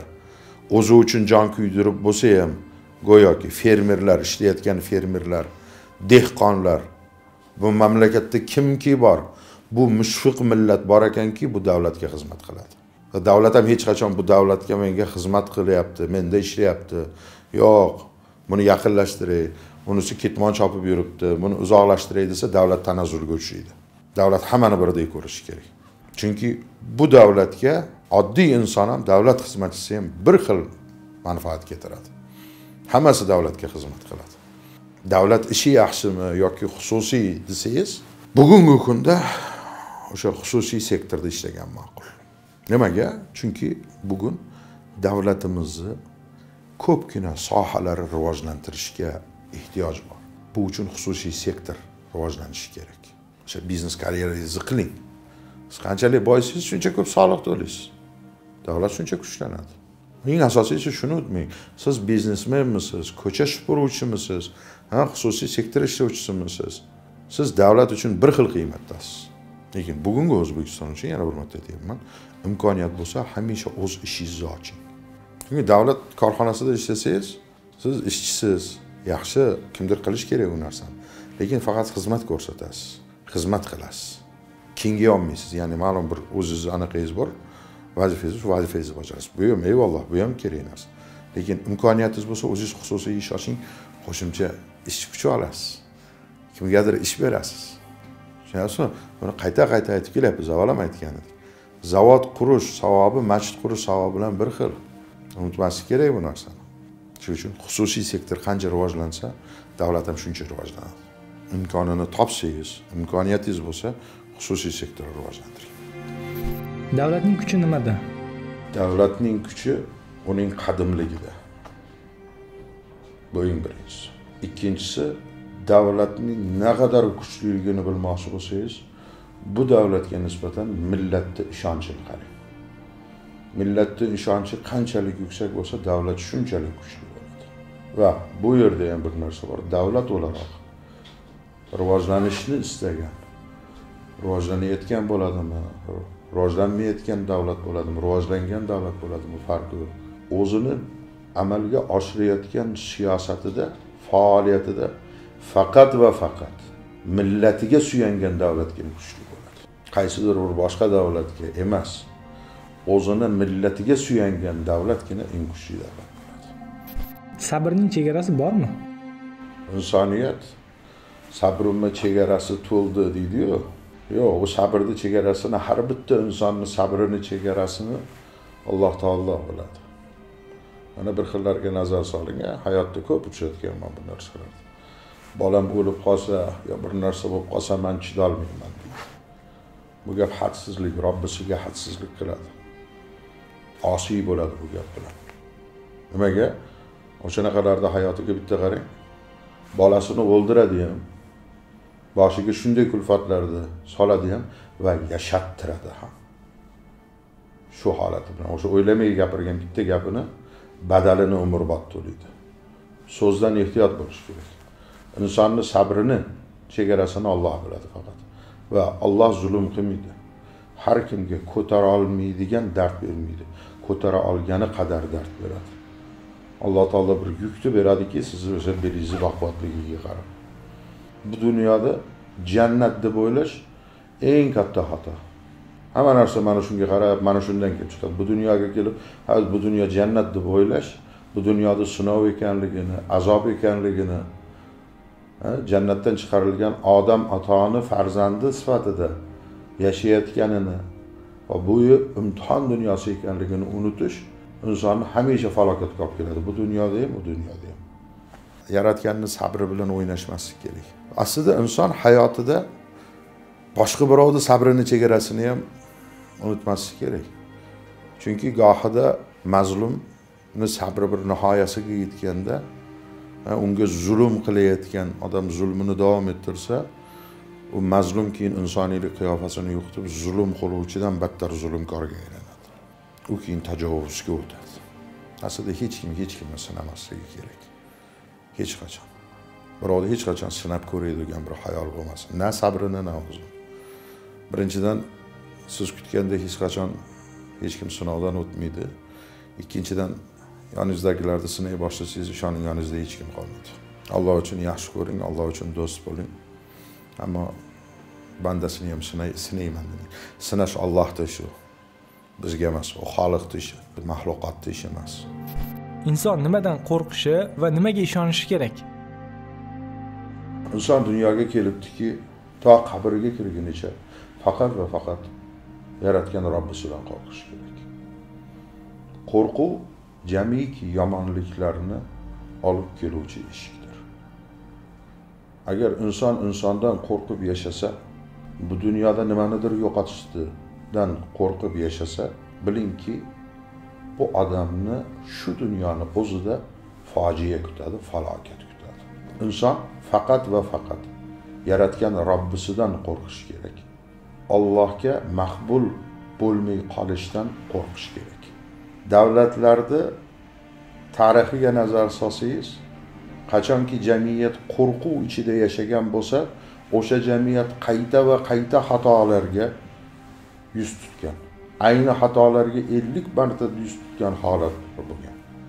Ya'ni inson ham jamiyat ham yaratgandan qo'rqib yashash kerak. Ha nimaga ishonib yashash kerak? Desa inson ham jamiyat ham faqatgina Allohning marhamatiga ishonib Allohdan yaxshilik kelishiga ishonib yashash kerak. Inson har bitta qilayotgan ishini o'zini hayotida qilayotgan ishini Allohga berib qo'ymasa topshirib qo'ymasa Allohga tavakkal deb qo'ymasa bilingki alloh taolo u odamni ipini uchini dushmanlariga berib qo'yadi ya'ni o'zingizni ipingizni o'zingiz ollohga topshirib qo'yib yo robbim sandan nimaiki kelsa man qabul qildim roziman deb yashasa u muvaffaqiyatga erishadi baxtga erishadi.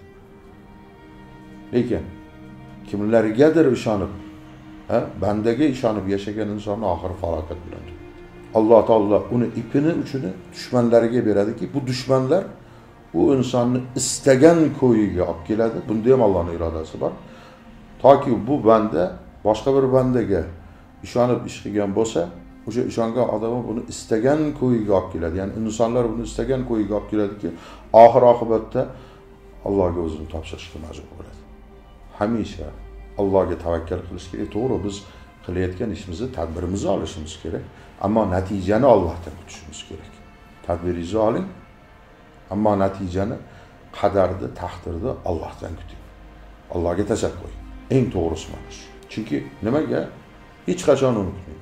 Mana ko'p insonlarni ko'rasiz. Kimki nolasa ey xudo man senga nima qildimki? deb nolasa bilib qo'yingki mana shu nuqtaga mana shu falokatli nuqtadir.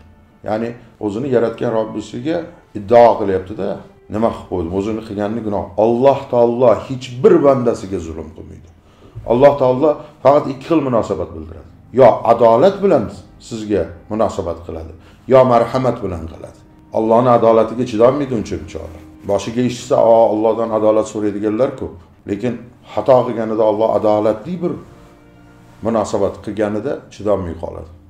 Shuning uchun bizni ustozlarimiz hamisha bir duo o'rgatardilarki yo robbim alloh san azza va jallasan yo robbiy har narsaga qodirsan. Allohim adolatingdan qo'rqaman. Men bir gunohkor bandaman yo robbiy qilgan xatolarimga qaramasdan menga marhamat ko'zi bilan qaragin. Menga marhamat qilgin. Adolatingdan qo'rqaman yo robbiy deb ayting dedilar biz ustozimiz. Ya'ni eslab qoldingiz alloh taolo faqat ikki xil munosabat yo adolatli yo marhamatli zulm qilmaydi. Hech bir bandasiga zulm qilmaydi. Boshingizga bir kulfat tushgan bo'lsa bu ollohni adolatida demak tavba qilishingiz kerak. Tavba qildirtirib qo'yadi. Alloh hammamizni yaratganiga ham marhamatini darig tutmasin hammamizni marhamat nazari bilan qarasin. Hayotda eng amin bo'lib qattiq ishongan narsangiz nima? Bittasini so'rashibdida olloh nimaga yaxshi ko'rasan debdi. Endi qara debdi. Odamlar debdi aybimni bilmaydi debdi. G'iybatimni qilib doston qiladi hammaga qilib yo'q aybimni bor debdi. Olloh aybimni biladi kamchiligimni biladi debdi lekin berkitadi debdi. Hech bo'lmasa shu uchun sevaman debdida man hayotda eng katta amin bo'lgan narsam qat'iy ishongan narsam robbimning marhamatidir. Mehridir.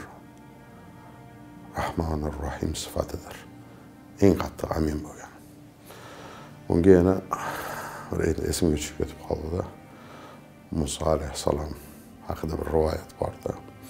Bir kuni muso alayhissalom robbidan so'rabdida yo robbim eng dunyodagi eng gunohkor bandangni menga ko'rsat debdi alloh taolo aytibdi falon dengizi falon yoqasiga borgin. Sohilga borgin. Bir bolali odamni ko'rasan debdi. Borsa bir olti besh yashar bolani yetaklab yurgan bir odam bor ekan ha debdi. Ko'ribdi ko'zi bilan ertasi kuni duo qilibdi. Yo robbil alamin manga endi dunyoda eng gunohsiz bir bandangni ko'rsatgin debdi. Falon joyga borgin debdi alloh taolo dengizni bo'yiga. Dengiz bo'yiga borsa yana kechagi odam kechagi bola bilan o'tiribdi ekan. Muso alayhissalom so'rabdi.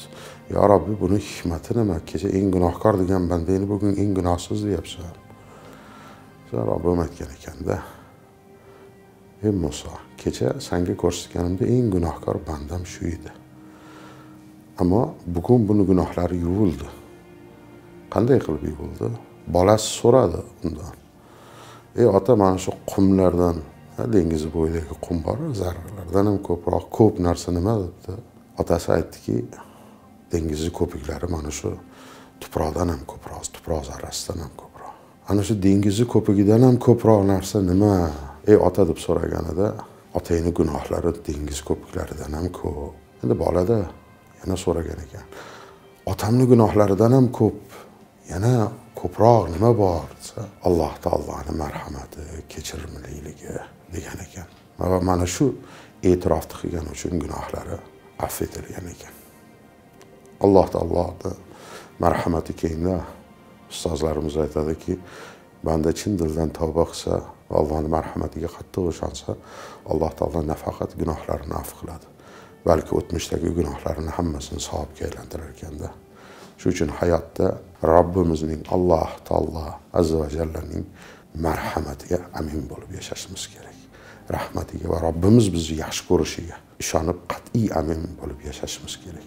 Hech qachon ikkilanmaslik kerak ollohim meni kechiradimi olloh kechiruvchi zot alloh meni kechiradi deb ishonish kerak alloh menga beradimi alloh menga beradi deb ishonish kerak va shunga loyiq bo'lsangiz albatta beradi ya'ni musulmon odam ikkilanmaslik kerak amin bo'lishi kerak o'sha aminlik eng avvalo robbisining marhamatiga aminlikdir kuchli inson qanday bo'lishi kerak hayotda polvonlar ham bo'ladiyu kuragi yer ko'rmagan deydi yengilmagan yengilmagan polvonlar kuchli bo'ladi. Mana shu inson ham xuddi shunday. Yengilmasligi uchun hayotda kuchli inson bo'la olishi uchun eng muhim bitta jihat bor. Bu ham vijdonli bo'lish. Eng kuchli inson vijdonli insondir. Agar siz bir insonni kuchli deb bilayotgan bo'lsangiz va ojiz tarafini topolmayotgan bo'lsangiz yiqitolmasangiz yengolmayotgan bo'lsangiz demak qarshingizdagi vijdonli inson. Chunki kuch ko'pni sindirish mumkindir yengish mumkindir. Lekin vijdonli insonni hech qachon yengib bo'lmaydi. Chunki vijdonli inson iymonli bo'ladida haqqa tavakkal qilgan bo'ladi va vijdonini amriga qarshi robbisini amriga qarshi ketmaydi. Eng kuchli inson bo'lish uchun vijdonli bo'lish kerak.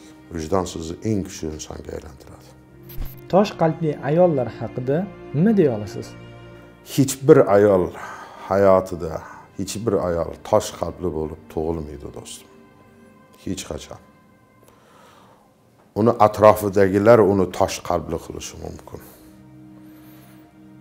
Mehrsizlik shafqatsizlik oqibatsizlik marhamatsizlik ayolni qalbini toshga aylantiradi. Tosh qalbli ayolga aylanadi. Hechga bir gap aytaymi mana shu dunyodagi eng qattiq jism bilasizmi? Nima olmos qattiq jismlardan bittasi olmos olmosda haligi karbonni zichligi bir ming olti yuzga tengda. Shu uchun bo'lish juda qiyin. Judayam qiyin juda qattiq bir jismda. Lekin ana shu olmosdan ham qattiqroq jism bor. Bo'lgan bo'lsa sevishdan voz kechgan ayolni qalbi olmosdan ham qattiq bo'ladi. Nima hayotingizda ko'rasizu? Qahri qattiq ayollarni ko'rasiz a hech qaysi bir ayolni qalbi qahri qattiq bo'lib dunyoga kelmaydi. Uni shunday odamlarni o'zi shunday qilib yaratadida keyin odamlarni o'zi bundan ozor chekadi. Uylanayotgan yigitlarga qanday maslahat berasiz? Uylanayotgan yigitlarga maslahatim shu. Ayolni qalbi bilan o'ynashmang. Bu birinchisi. Ikkinchisi har qanday xotin erning xotini o'sha erning tarbiyasini mahsulidir esingizdan chiqmasin. Ya'ni xotinni er tarbiya qiladi mas'uliyat erni bo'ynida. Erlik deganini avvalo anglab yetish kerak. Aksariyatimiz shu xatoni qilamiz.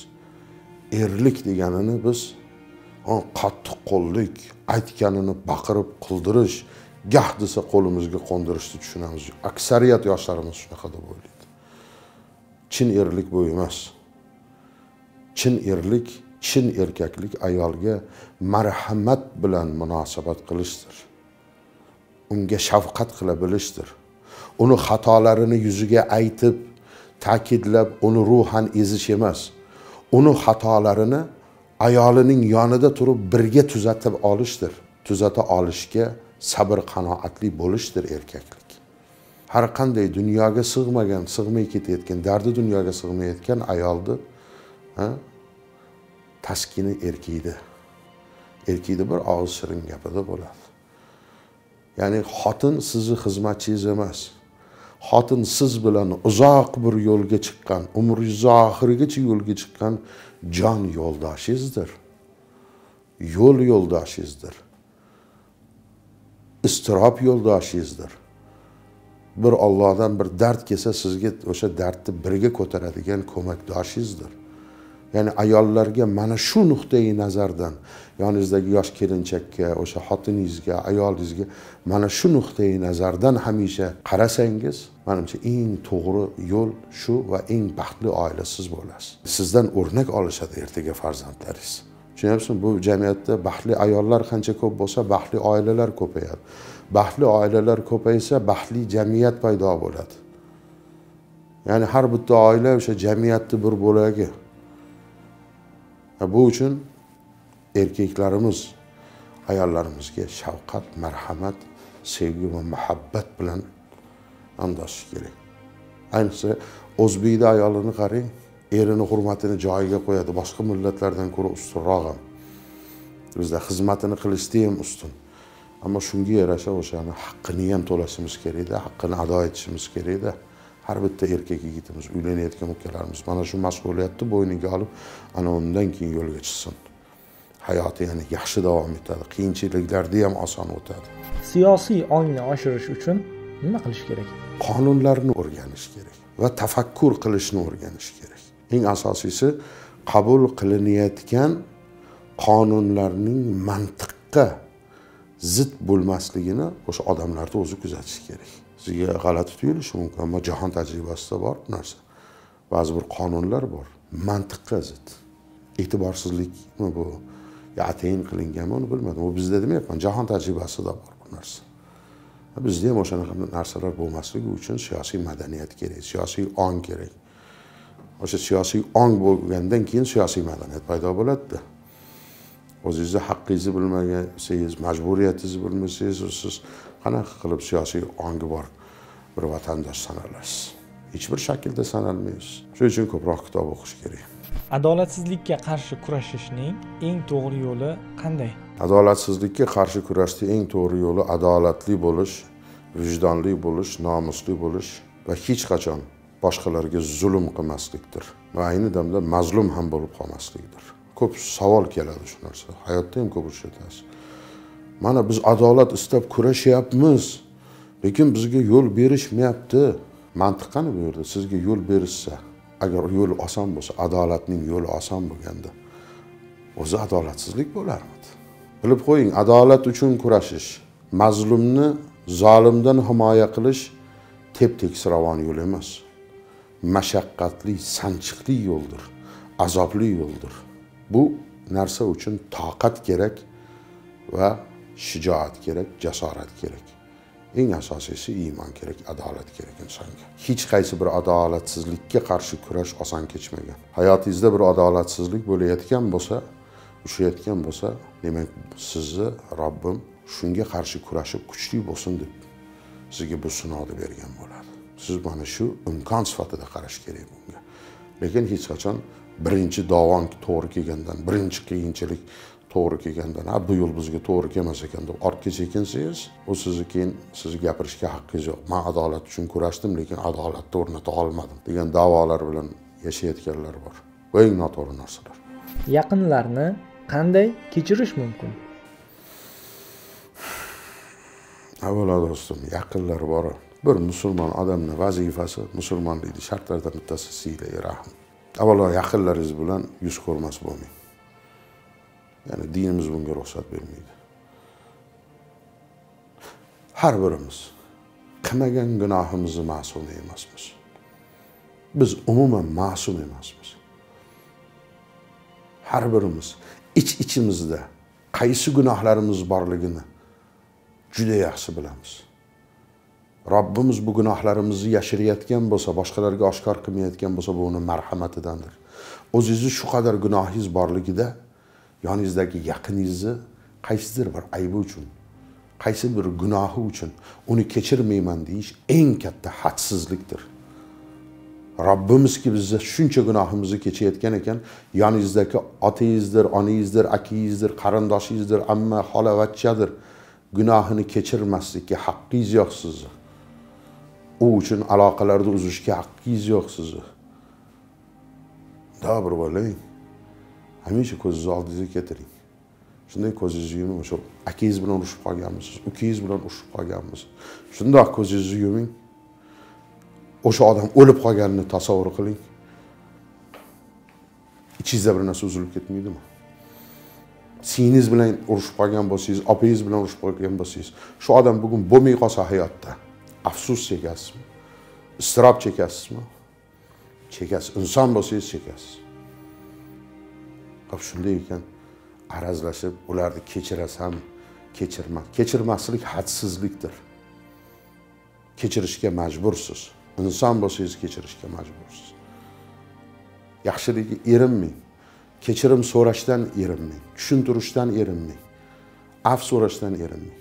Mana man hozir shu vaziyatdan foydalanib aytyapman. Agar siz masalan akangizdan uzr so'ramoqchi bo'lsangiz lekin so'rolmayotgan bo'lsangiz otangizdan so'rolmayotgan ukangizdan hatto singlingizdan opangizdan ayolingizdan so'rolmayotgan bo'lsangiz mana man sizni nomingizdan hozir so'rayman opam akam singlim qavmi qarindoshim yaqinim man uzr so'rayman shu odam uchun olloh uchun bu o'tkinchi dunyo bugun bormiz ertaga yo'q man gunoh qilgan bo'lsam mani kechirgin. San gunoh qilgan bo'lsang man kechdim. Olloh uchun yarashib olaylik mana man so'rayapman. Shu odamni dilida bor narsani tiliga chiqarolmagan bo'lsa mana man so'rayman. Alloh yaqinlarimizdan ayirmasin. Bu sinovda har kim ko'tara olmaydi. Yo'qotganda biz odamlar yaqinlarimizni yo'qotgandan keyin qadriga yetamiz. Bunday kerak. Tirigida qadriga yeting. O'lganidan keyin oxunolingizni foydasi yo'q. Siylagi rahmni uzganlik uchun dinimizda ham hayotda ham badalini og'ir to'laymiz. Akangizni kechirolmasangiz ukangizni kechirolmasangiz bilingki ertaga sizni o'g'lingiz akasini kechirmaydi istaysizmi buni? Chiday olasizmi bunga? Gulday o'stirayotgan qizingizni akasi kechirmaydi. Chida olasizmi bunga singlisi kechirmaydi akasi singlisini kechirmaydi u bahona ha mani qizim bu qilgan xatoni opam qilgan xatoni qilmaydi demang. Ayni xatoni qilmasligi mumkin boshqa xatoni qilishi mumkin. Shu uchun aytyapman yana bir marta. Men butun arazlashganlar o'rtasida turib aytyapman. Men kechirim so'rayman. Kim kimni dilini og'ritgan bo'lsa faqat yarashib olinglar siylai rahmni mustahkam qilinglar. Buni javobi judayam og'ir narigi dunyoda. Bu dunyoda bu dunyoda chidolmay qolamiz. Ba'zi bir zulm qilganlar menga qaytmaydi yaxshi yashayapman deydi. Shunga nima deysiz? Agar siz zulm qilsangiz ha, bir insonga bir zulm yetkazsangiz va o'zingizni oqlasangiz o'zingizni vijdoningizni oqlasangiz insonni fitratida baribir vijdon bo'ladida ozgina bo'lsa ham kimda ko'p kimda kam man zulm qildim lekin bu mani vazifam edi deb o'zingizni aldashingiz mumkin. Va qariganingizda mana man zulm ko'rmadim zulm qildimmi zulm ko'rmadim deb xursand bo'lmang. Hech qachon xursand bo'lmang. Alloh karim boru adolatli zot. Shunday qiladiki siz zulm ko'rmaysiz. Lekin sizni farzandingiz shunday zulm ko'radiki olloh sizni ham joningizni olmaydi ko'zingizni o'ngida farzandingizni shunaqangi zulmga uchratadiki oh deng voh deysiz dunyolarga sig'maysiz. Bu dunyo sizga jahannamga aylanadi. Ey voh shu zulmni man ko'rsam bo'lmasmidi deysiz. Foydasi bo'lmaydi. Zulm qilgan bo'lsangiz badalini to'lasangiz shukur qiling. Zulm qilib badalini to'lamasangiz qo'rqing. Yig'lang badalini yuz barobar qilib to'laysiz. Ham bu dunyoda ham u dunyoda.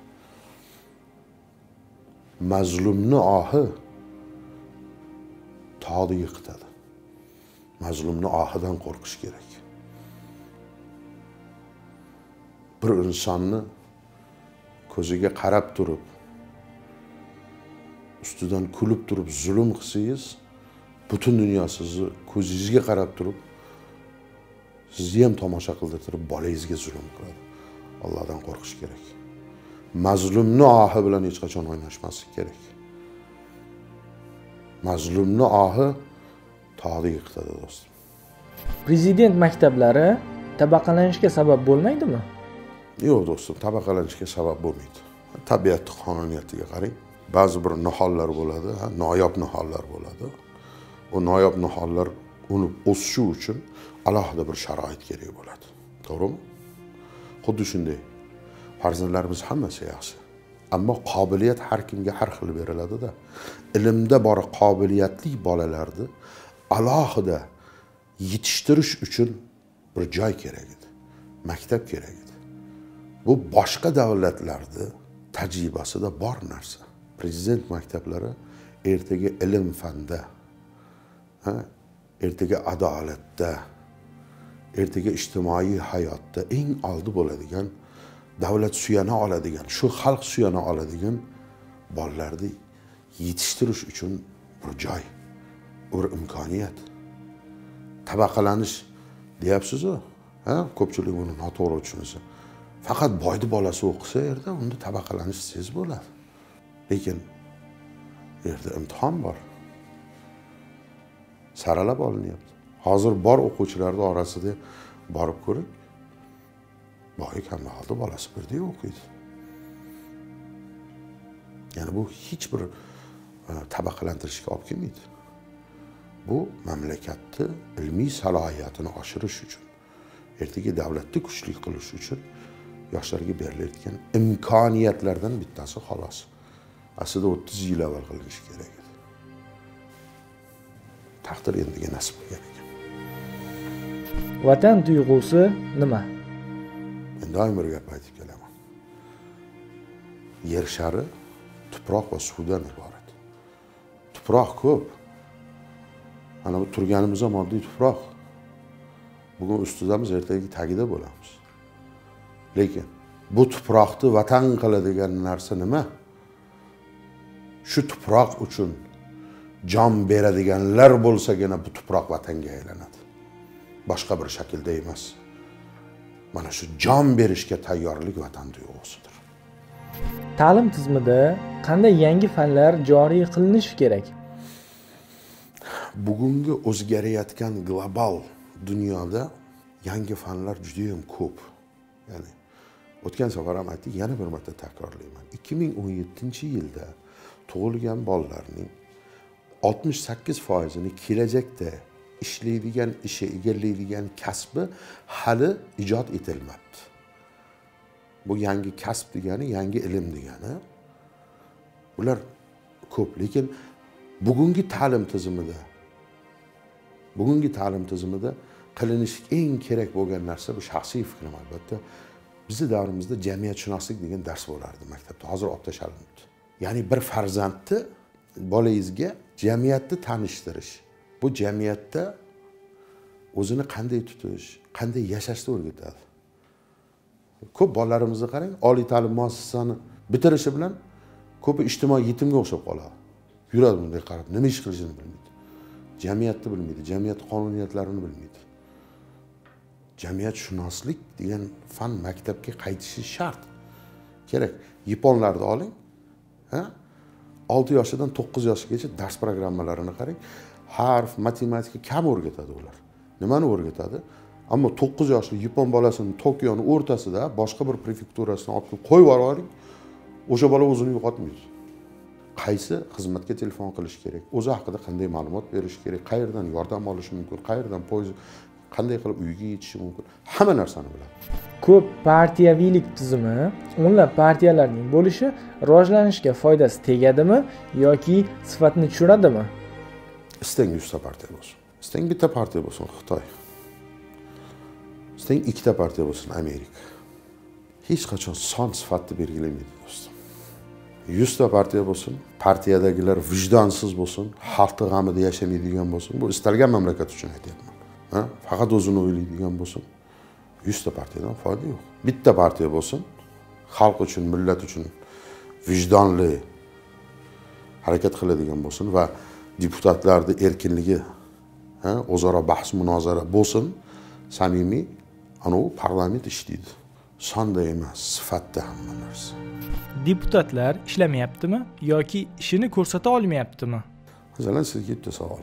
Hali farzand ko'p endi ko'rasiz xudo xohlasa. Bitta savol bolangiz o'n bir oylikda deylik o'n oyligida yura boshladi.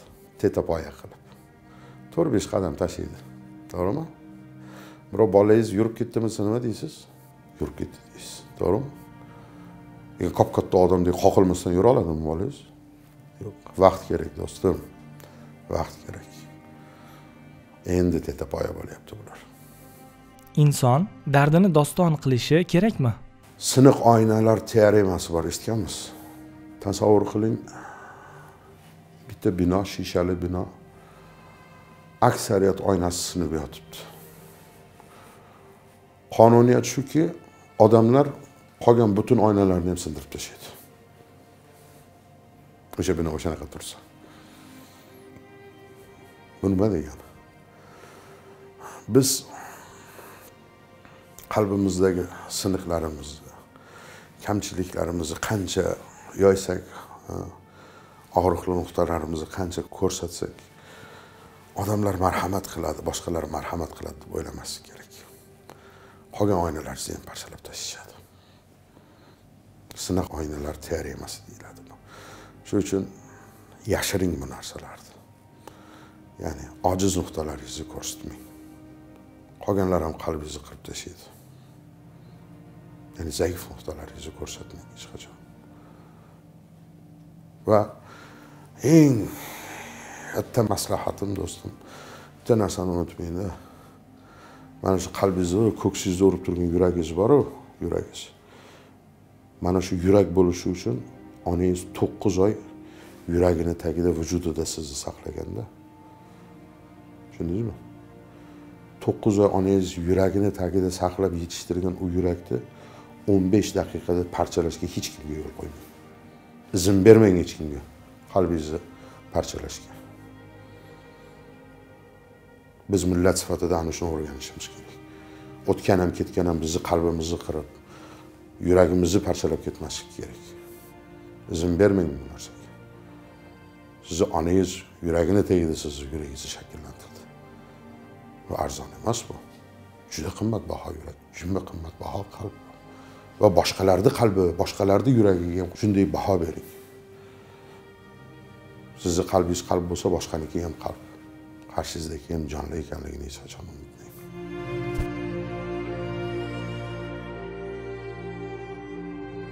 Xulosa qilib shuni aytaman. Doimo quyoshdan o'rnak oling. Qayta qayta botsangizda har kuni qayta qayta tug'ilishdan charchamang omon vijdon va e'tiqod erkinligi nima? Vijdon erkinligi qonunchilik nuqtai nazaridan qaraydigan bo'lsangiz bu sizni davlat tomonidan kafolatlanadigan huquqingiz. Siz shaxssiz insonsiz dunyoga kelgansiz sizni haq huquqingiz bor erkinsiz a sizda tug'ma suverenitet bor. Olloh bergan suverenitet bor. Siz to'laqonli erkin insonsiz siz davlatga o'z suverenitetingizni bir qismini berasiz.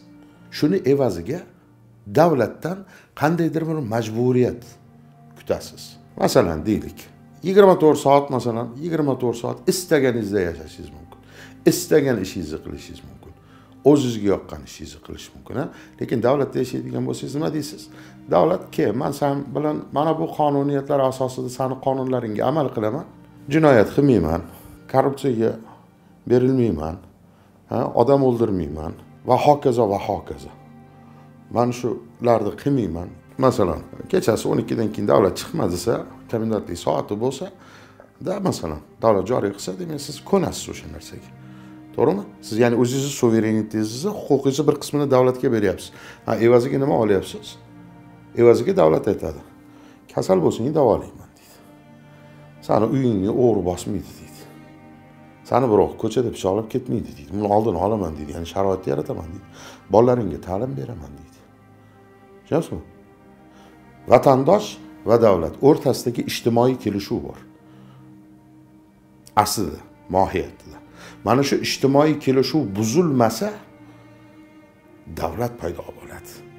Ya'ni huquqiy davlat mana shunday paydo bo'ladi. Mana shunday huquqiy davlatlardan bittasi davlatni vijdon erkinligini ya'ni vijdon erkinligi emas shaxs suverenitetini har shaxs hech qachon davlat shaxsni shaxsiy hayotiga e'tiqodiga aralashmasligi kerak uni vijdon deb aytishganda tarjima qilishgan e'tiqod erkinligi masalasi bu. Istagan diniga yoki hech bir dinga amal qilmaydi totalitar davlatlarda shaxs suvereniteti hurmat qilinmaydi shaxsga hech narsa berilmaydi taqiqlab qo'yiladi bu avtoritarizm bu huquqsizlik bu demokratiya emas huquqiy davlat ya'ni adolat. Umar roziyallohu anhuni gapini eslang. Davlatni dini adolatdir deganlar ya'ni davlatni dini adolat bo'lishi kerak. Adolatli jamiyatlarda shaxs suvereniteti ham davlat tarafidan himoya qilinishi kerak hurmat qilinishi kerak. O'zini shaxsiy fikrini ayta olish huquqiga ega bo'lishi kerak o'zi istagan diniga e'tiqod qila olish huquqiga ega bo'lishi kerak. Bular hammasi endi bitta qilib vijdon erkinligi e'tiqod erkinligi mana shu narsa. Ya'ni tarozi buzilmasligi kerak. Vatandosh sizga davlat o'laroq siz davlat bo'lsangiz vatandosh sizga o'zini huquqlarini o'zini suverenitetini bir qismini beryaptimi? Siz ham uni huquqlarini himoya qilishingiz kerak va qandaydir majburiyatlarni bo'yningizga olishingiz shart. Mana shunda davlat bo'ladi mana shunda kuchli huquqiy davlat vujudga keladi. Adolatli jamiyat vujudga keladi. Boshqa shaklda emas. Va davlatning kuchi ham davlatning davlat sifatida mavjud bo'lishi ham mana shu qonuniyatga adolatli qonuniyatlarni hayotga tatbiq qilishiga hayotda mana shu adolatli qonuniyatlar asosida mavjud bo'lishiga bog'liq. Vatandoshni davlat oldidagi majburiyati ham katta davlatni vatandosh oldidagi majburiyati ham juda katta. Qars ikki qo'lda chiqadi ikki qo'ldan chiqadi. U bitta qo'lda qarz chiqmaydi ikki qo'lda ikkalasi ham barobar harakat qilish kerak. Davlatni o'zini majburiyati bor davlatni resursi bor soliqlar to'layapmiz o'sha resursi bo'lgani uchun u ko'p narsani qilib berishga majbur. Vatandoshdan talab etilgani davlat o'laroq shaxsni o'zini resursi imkoniyatidan kelib chiqqan holda shaxsni oldiga davlat ham majburiyat yuklaydi ishlash soliq to'lash lekin bu degani o'sha shaxsiy hayotiga rahna solmaslik kerak. Qul kabi ishlatish kerak. Ikkalasini ham vatandoshni ham majburiyati katta davlatni ham majburiyati katta. Hech qachon ha vatandoshni majburiyati katta davlatga ko'proq qilish kerak bu noto'g'ri narsalar. Har kim o'zini mas'uliyati chegarasi doirasida majbur majburiyatini bajarishga uni qanchalik bajaradi bajarmaydi bu endi mas'uliyatga aylanadi. Mas'uliyat darajasini belgilab beradi. Trollar va populist blogerlar haqida nima deya olasiz? O mavjud riyoyi talotun sho'rishi mahsharcha bor yerga tushsa qatra ashkim baxshishi gavharcha bor gavhari noyomni sen har kimga zoyi qilmag'il. Haq suxan bil bexabarning ko'ngliga nishtarcha bor min tasadduqiy o'shandoq oli himmatlar bo'lay. Zikri alloh zulfiqoriy chopshi haydarcha bor har hasu cho'biyni ko'rdim. Zikrini bisyor der har pir komil ki o'z qavmiga payg'ambar jabo mashrabo qilma suxan sen har nechuk lodonga hayf qadrini bilgan kishiga yoqdi ahmar jabo zamon o'zgaryapti mana ko'rasiz. Feyk xabarlar ko'payib ketyapti. Yolg'on xabarlar ko'payib ketyapti. Umri qisqa lekin uni ta'siri biroz cho'ziladigan xabarlar ko'p. Bir odamga xalqqa ommaga bir yolg'onni aytishadida keyin haqiqat chiqib kelsa haqiqatga ham shubhalanib qaraydida keyin. Ya'ni masalan aytyapti mashrabo qilmas hansen har nechuk gayf qadrini bilgan kishiga yoqdi ahmarcha bor ya'ni mashab san deydi haqiqat dur deydi. Ha deb hammaga beraverma deydi. Qadrini bilgan odam deydi so'zingni o'zi yoqdi qadrlaydi deydi. Lekin nodonni deydi qalbiga deydi haqiqat ignadek sanchiladi deydi. Hozir mana jurnalistika rivojlanib ketdi feyk boshqa narsalar bo'ldi. Mana jurnalistikada yangi fan paydo bo'ladi. Feyk xabarlar ularni tanib olish va ularga qarshi targ'ibot. Ya'ni bo'linishi kerak bo'lgan yangi fan bu. Chunki bugun ehtiyoj bor. Bugun feyk ko'p. Va eng yomoni bilasizmi? Feyk barobarida beorlar ko'p. Orsiz haysiyatsiz blogerchalar paydo bo'lgan trollchalar paydo bo'lgan. Yolg'onni aytadi betiga qarab yolg'onni yolg'onligini isbot qilib berasiz. Va aytasizki e, xalq qo'y robbingdan uyalmaysanmi? Ertaga qiyomatda shu yolg'oning uchun robbingni qarshisida shu yolg'onni sen gapiruvdingki degan bir savolga tutilishdan uyalmaysanmi qo'rqmaysanmi deysiz? Uyalmaydi qo'rqmaydi. O'sha yolg'onini oqlash uchun undan battar jazoga tushaveradi. Bu insonni tamom bo'lgani aslida ya'ni inson sifatida tamom bo'lgan beorlikda bu endi. Orsizlik. Anaqa orsizlar ko'payib ketdi. So'z ilohiy kuch. So'z bilan o'ynashib bo'lmaydi. Rahmatli muhammad yusuf shoir ustozimiz aytar edida. Hech esimdan chiqmaydi bu narsa. Ustoz bir narsa yozdim deb shoshib ketayotganlarda ko'chada. Bir narsa yozdim ustoz. Shuni o'qib bersam maylimi desa urishib berganlarman e, so'z bilan o'ynashma so'zni har joyda aytib bo'lmaydi deb. Shunaqa odamdilar rahmat. Ya'ni o'sha so'zni mas'uliyatini bizga berardilarda. Gapirayotgan gapingni o'ylab gapir. Har bitta gaping yozayotgan narsang uchun ha, javob berasan yoqda o'shani o'ylatardilarda. Birinchidan bunaqalarni feyklarni paydo bo'lishiga ayt- to'g'ri aytish kerak buni tan olish kerak. Bunaqa yolg'on feyklarni paydo bo'lishiga boshqaga bitta sabab borda. Biz ham gunohkormiz aslida. Ya'ni sifatli informatsion siyosat yo'qligi uchun mukammal bir informatsion siyosatni yo'qligi uchun bu informatsion makonda maydon o'qiyaptida endi bular. Chetdan turib maydon o'qishyapti. Yoki chetdan bo'lmasa o'zimizdan turib istaganini qilishyapti. So'z uchun chunki mas'uliyat hali bizda shakllanmagan. Deylik birov o'ldiga chiqarsin desa shundoq chiqib o'ldi falonchi desin siz hali xabaringiz oilangiz işte bir zarba bo'ladiyu to'g'rimi? O'zizga kelib boshqa qilib boyagini sudga bering sud unga jazo qo'llasin. Shantajchilar davri bo'lib qoldida. Shunaqa qilsa nima bo'ladi? O'zbekistonda so'z erkinligi ta'qib ostiga tushdi deydi. Hech kim aytmaydi. Qonunni buzyaptiku. Boshqa bir insonni shaxsiy hayotiga anaqa qilyapti deb aytmaydiku. Yana bir bilasizmi informatsion xaos davrida yashayapmiz. Milliy axborot makonimizda informatsion xaos vujudga keldi. Va bu vujudga kelishda men doim aytaman inson avvalo kamchilikni o'zidan qidirish kerak deb. Eng birinchi galda bizni aybimiz bor. Milliy axborot makonida yagona bir standart vektor informatsion siyosat ishlab chiqarilgani yo'q. Mana shu narsa yo'q. Professionallarni yo'qligi istagan odam istagan gapira olib va bu gapirish uchun hech qanday mas'uliyatni bo'yniga olmaslik. Mana mana shunday narsalar vujudga keltiradi xolos. Bular nima uchun qilinadi? Bular hammasi jamiyat fikrini boshqarish uchun qilinadi. Nima uchun boshqarish uchun qilinadi? Kimdir pul uchun qiladi. Ya'ni o'zi boyish uchun kimdir ta'sirini shakllantirish uchun kimdir o'zi bilmasdan kimni quchog'ida o'tirganini bilmasdan o'zi tushunmaydi o'sha birovni quchog'ida o'tirganini haqiqatni gapirib san faqat haqiqatni gapirasan desa og'ziga kelganini gapiradi man haqiqatni gapiryapman deb oxirida davlatmi anavi kimni quchog'ida o'tirgan bo'lsa ular uni qurbon qilib yuboradi tarixda hamisha shunaqa bo'ldi obidxon ustozimiz borlar alloh rozi bo'lsin istanbulda yashaydilar obidxon domlani bir gapi borda man shularni kuyib ketib yoqda gapirsangiz ustoz nima qilish kerak bularni ma'zur qilib qo'yavering deydilar ma'zur ya'ni allohga havola qilib qo'yaverasiz. Haqiqat baribir yuzaga chiqadiku to'g'rimi? Vaqt o'tadi boshqa o'tadi. Yolg'on bilan tez oshirilgan obro' tez yongan olov hamisha tez so'nadi. Bugun bor ertaga yo'q.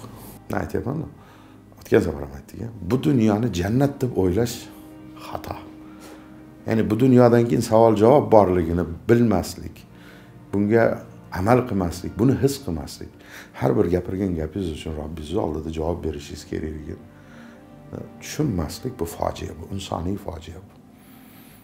Bu fake texnologiyalar g'arbda paydo bo'lgan narsa.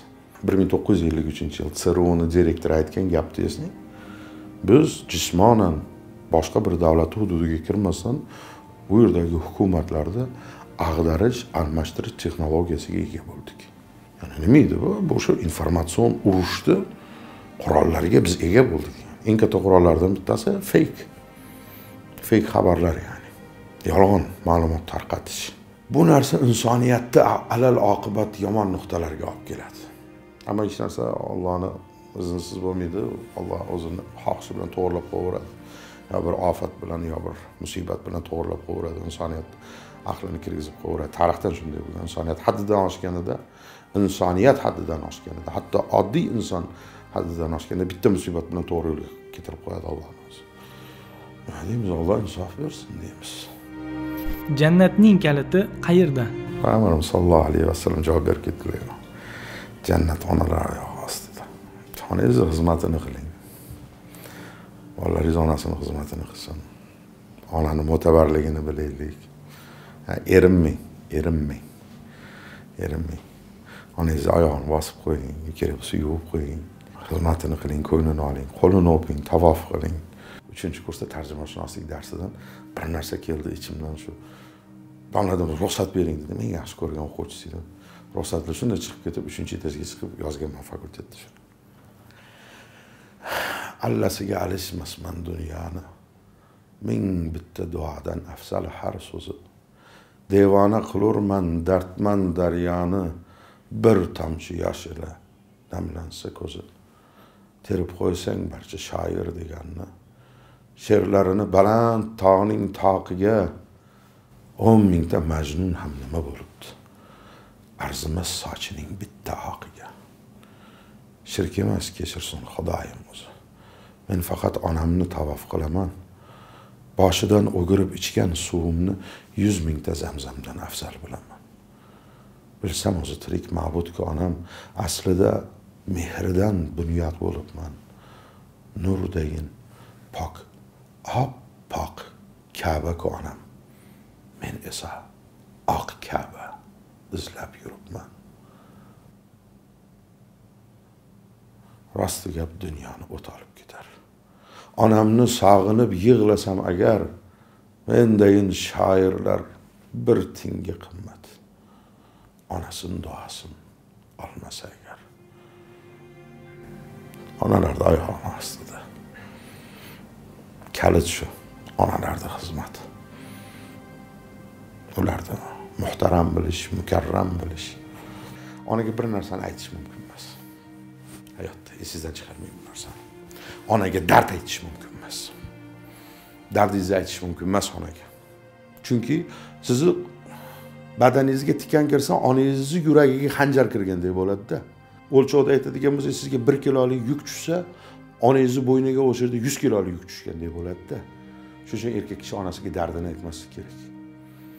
U dard o'tadi ketadi yechim topiladi. Sizda o'tadi ketadi yechim topiladi. Siz uchun oddiy bir muammo. Onani yuragida dog' bo'lib qoladi. Og'riq chandiq bo'lib qoladi. Ona o'zi qarimaydi onani bolani dardi qaritadi. Bolani tashvishi qaritadi. Onalarimizni haqqini ado etolmaymiz hech qachon. Dinimizda ham bor ijtimoiy hayotimizda ham bor. Kelajakda onalar bunyod qiladida. Onalarni qattiq hurmat qilish kerak. Marhamat bilan ko'rish qarash kerak lekin hech qachon inson qizi borlar unutmaslik kerak. Sizni qizim deb qaraganingiz ertaga ona bo'ladi. Yani qizni tarbiyasida ham o'sha ona bo'lishini o'sha qizga yoshligidan o'shanday onaga mehr muhtaram qilinganday munosabat qilish kerak. Onani ulug'lashni bilish kerak. Ayniqsa bizni millatimizni onalari. Uch yuz yil davomida so'nggi uch yuz yil davomida kelgan g'ayri diniyu o'zimizni dindan bo'lgan boshqa bir sultonlaru bizni ayollarimiz vatanini hech qachon sotmagan arslonlarda tug'gan onalarimizni homilador holida so'yilgan onalarimiz ko'pda bizni. Lekin alhamdulillah bu millat nimaga qaddi bukilib sinib ketmadi? Bu millat nimaga? Hali hanuz bu millatni ichidan arslon yigitlar tug'ilyapti. Biz ustozimiz aytgandi uylanayotganimizda o'g'lim o'g'lingiz arslonday bo'lishi kerak bo'lsa esingizdan chiqmasin arslondan arslon tug'adi qo'y tug'maydi degan alloh rozi bo'lsin bizni arslon onalarimiz onani rozi qilish umuman qiyin ish emasda judayam oson charchab kelsangiz ham ayajon assalomu alaykum va peshanangizni tutasiz onangizni peshanasidan o'pib qo'ysangiz yo turib bir qo'llarini tovib qo'ysangiz shod xurram baxtli ona yettinchi osmonda yuradi judayam oson onani rozi qilish juda arzonda ko'p mashaqqat talab etilmaydi chunki siz uni bir parchasisizda sizni kichkina narsangiz ham kichkina yaxshiligingiz ham tog'dek ko'rinadi kichkina dardingiz ham tog'dek ko'rinadi. Shuning uchun hech qachon onalarga dard etmang. Erta qaritib qo'yasiz. Onalarni asrash kerak. Informatsion urushda aldanmaslik uchun nima qilish kerak? Ko'zi ochiq bo'lishi kerakda odam basirati ochiq bo'lishi kerakda gohida bir yolg'on xabar chiqadi. Shuni raddini bersangiz ham o'zi ishonmaydi ishonmaydi odam haqiqatni ko'rishni istamagan ko'z hech qachon ko'rolmaydi. Haqiqatni bilish uchun ya'ni aldanib qolmaslik uchun bir duo bor hozir esimga tushib ketdi. Yo robbiy adashuvchilardan va adashtiruvchilardan qilmagin degan. Kuchli duoda bu. Judayam kuchli duo. Adashib qolmaslikni ham so'rash kerak lekin adashtiruvchilardan bo'lmaslikni ham so'rash kerak. Aldanmaslik uchun mana fahm farosat bor. Fozil qori akam rahmatlini bir hikoyasi esimga tushib ketdi eslang bedanani tutib oladiyu bittasi tutib olib bedana tilga kirib aytadi ha ah, mana mana onam aytuvdi ya shu borma shu yerga tuzoq bo'ladi deb keldim nafsim qo'rsin mana qo'lingga tushdim. Haligi bedana ovoziga endi mani yo sho'rva qilib pishirib keyin o'zimga o'xshagan bilan urishtirasan keyin yaxshisi boshqasini urishtirsan mani qo'yib yubor deydi. Evaziga nima? Evaziga uchta hikmat o'rgataman bo'pti ayt. Faqat birinchisini qo'lingda aytaman ikkinchisini qo'lingni ochib turganda uchib ketishda aytaman uchinchisi shoxni ustida aytaman. Shunda ayt birinchisini. Birinchisi deydi eshitgan har bir narsangni aql tarozisiga solib ko'r deydi. Ho'p deydi qo'lini ochadi. Ikkinchisi uchib ketayotib. Hech qachon qo'lingdan ketgan boylikka achinma deydi shohga borib qo'nib bedana ham ke shuni bir sinay deydida endi. Olibdimi e bedanovoz deydi sani kalla yo'q ekan deydi meni deydi hozir deydi so'yganingda deydi ichimda deydi katta tuxumdek olmos bor edi ega bo'lading boyib ketardi desa haligi voy man ahmoq voy man ahmoq deb uzun o'zi urib ketibdida. Bedana tomosha qilib turibdi yarim soat boya yuzlarini timdalab afsus chekib boshlarini daraxtga urib. Bo'pti endi bo'lar ish bo'ldi uchinchi hikmatda aytsa menga qara debdi. Voy man senga nima dedim debdi. Eshitgan narsangni bir bunday o'ylagin. Men o'zi bir bedana bo'lsam meni ichimga tuxumdek olmos qanday his qilsin debdi kallang bormisan debdi. Birinchi hikmatga amal qilmading ikkinchi hikmatni aytdim senga qo'lingdan ketgan boylikka hech achinma debdi hamma aytdi yarim soat o'zingni o'zing urib hamma yoqingni qontalashib tashlading ikkita hikmatga amal qilmagan odamga uchinchisi hayf deb uchib ketgan ekan javob shu do'stim eshitgan har bitta narsangizni aqlingiz bilan fikrlab ko'rmasangiz fikrlashga o'rganmasangiz chingiz aytmasdi bitta gapini esingizdan chiqaring oshqozon miyadan aqlli deydi chunki oshqozon o'sha yeyilgan narsa agar aynigan narsa kirsa qusib tashlaydi deydi. Miya qusib tashlamaydi yutaveradi deydi hamma narsani deydi.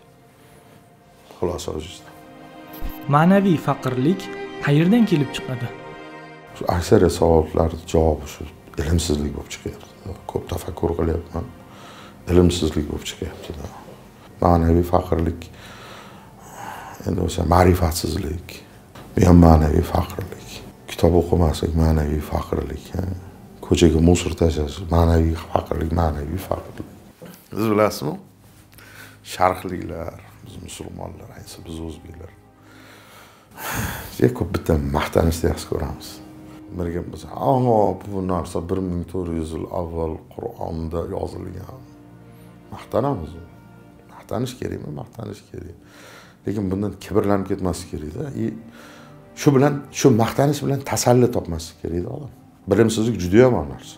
Bizni ota bobomiz falondek bo'lgan pismadondek bo'lgan aytaman buni bir ummat sifatida holatimizni aytamanda ayniqsa hozir mana ba'zi bir targ'ibotchilarimiz bor ommaviy madaniyatni yomonlayman deb bir gapda ko'p takrorlashyaptida aynigan yevropa aynigan g'arb.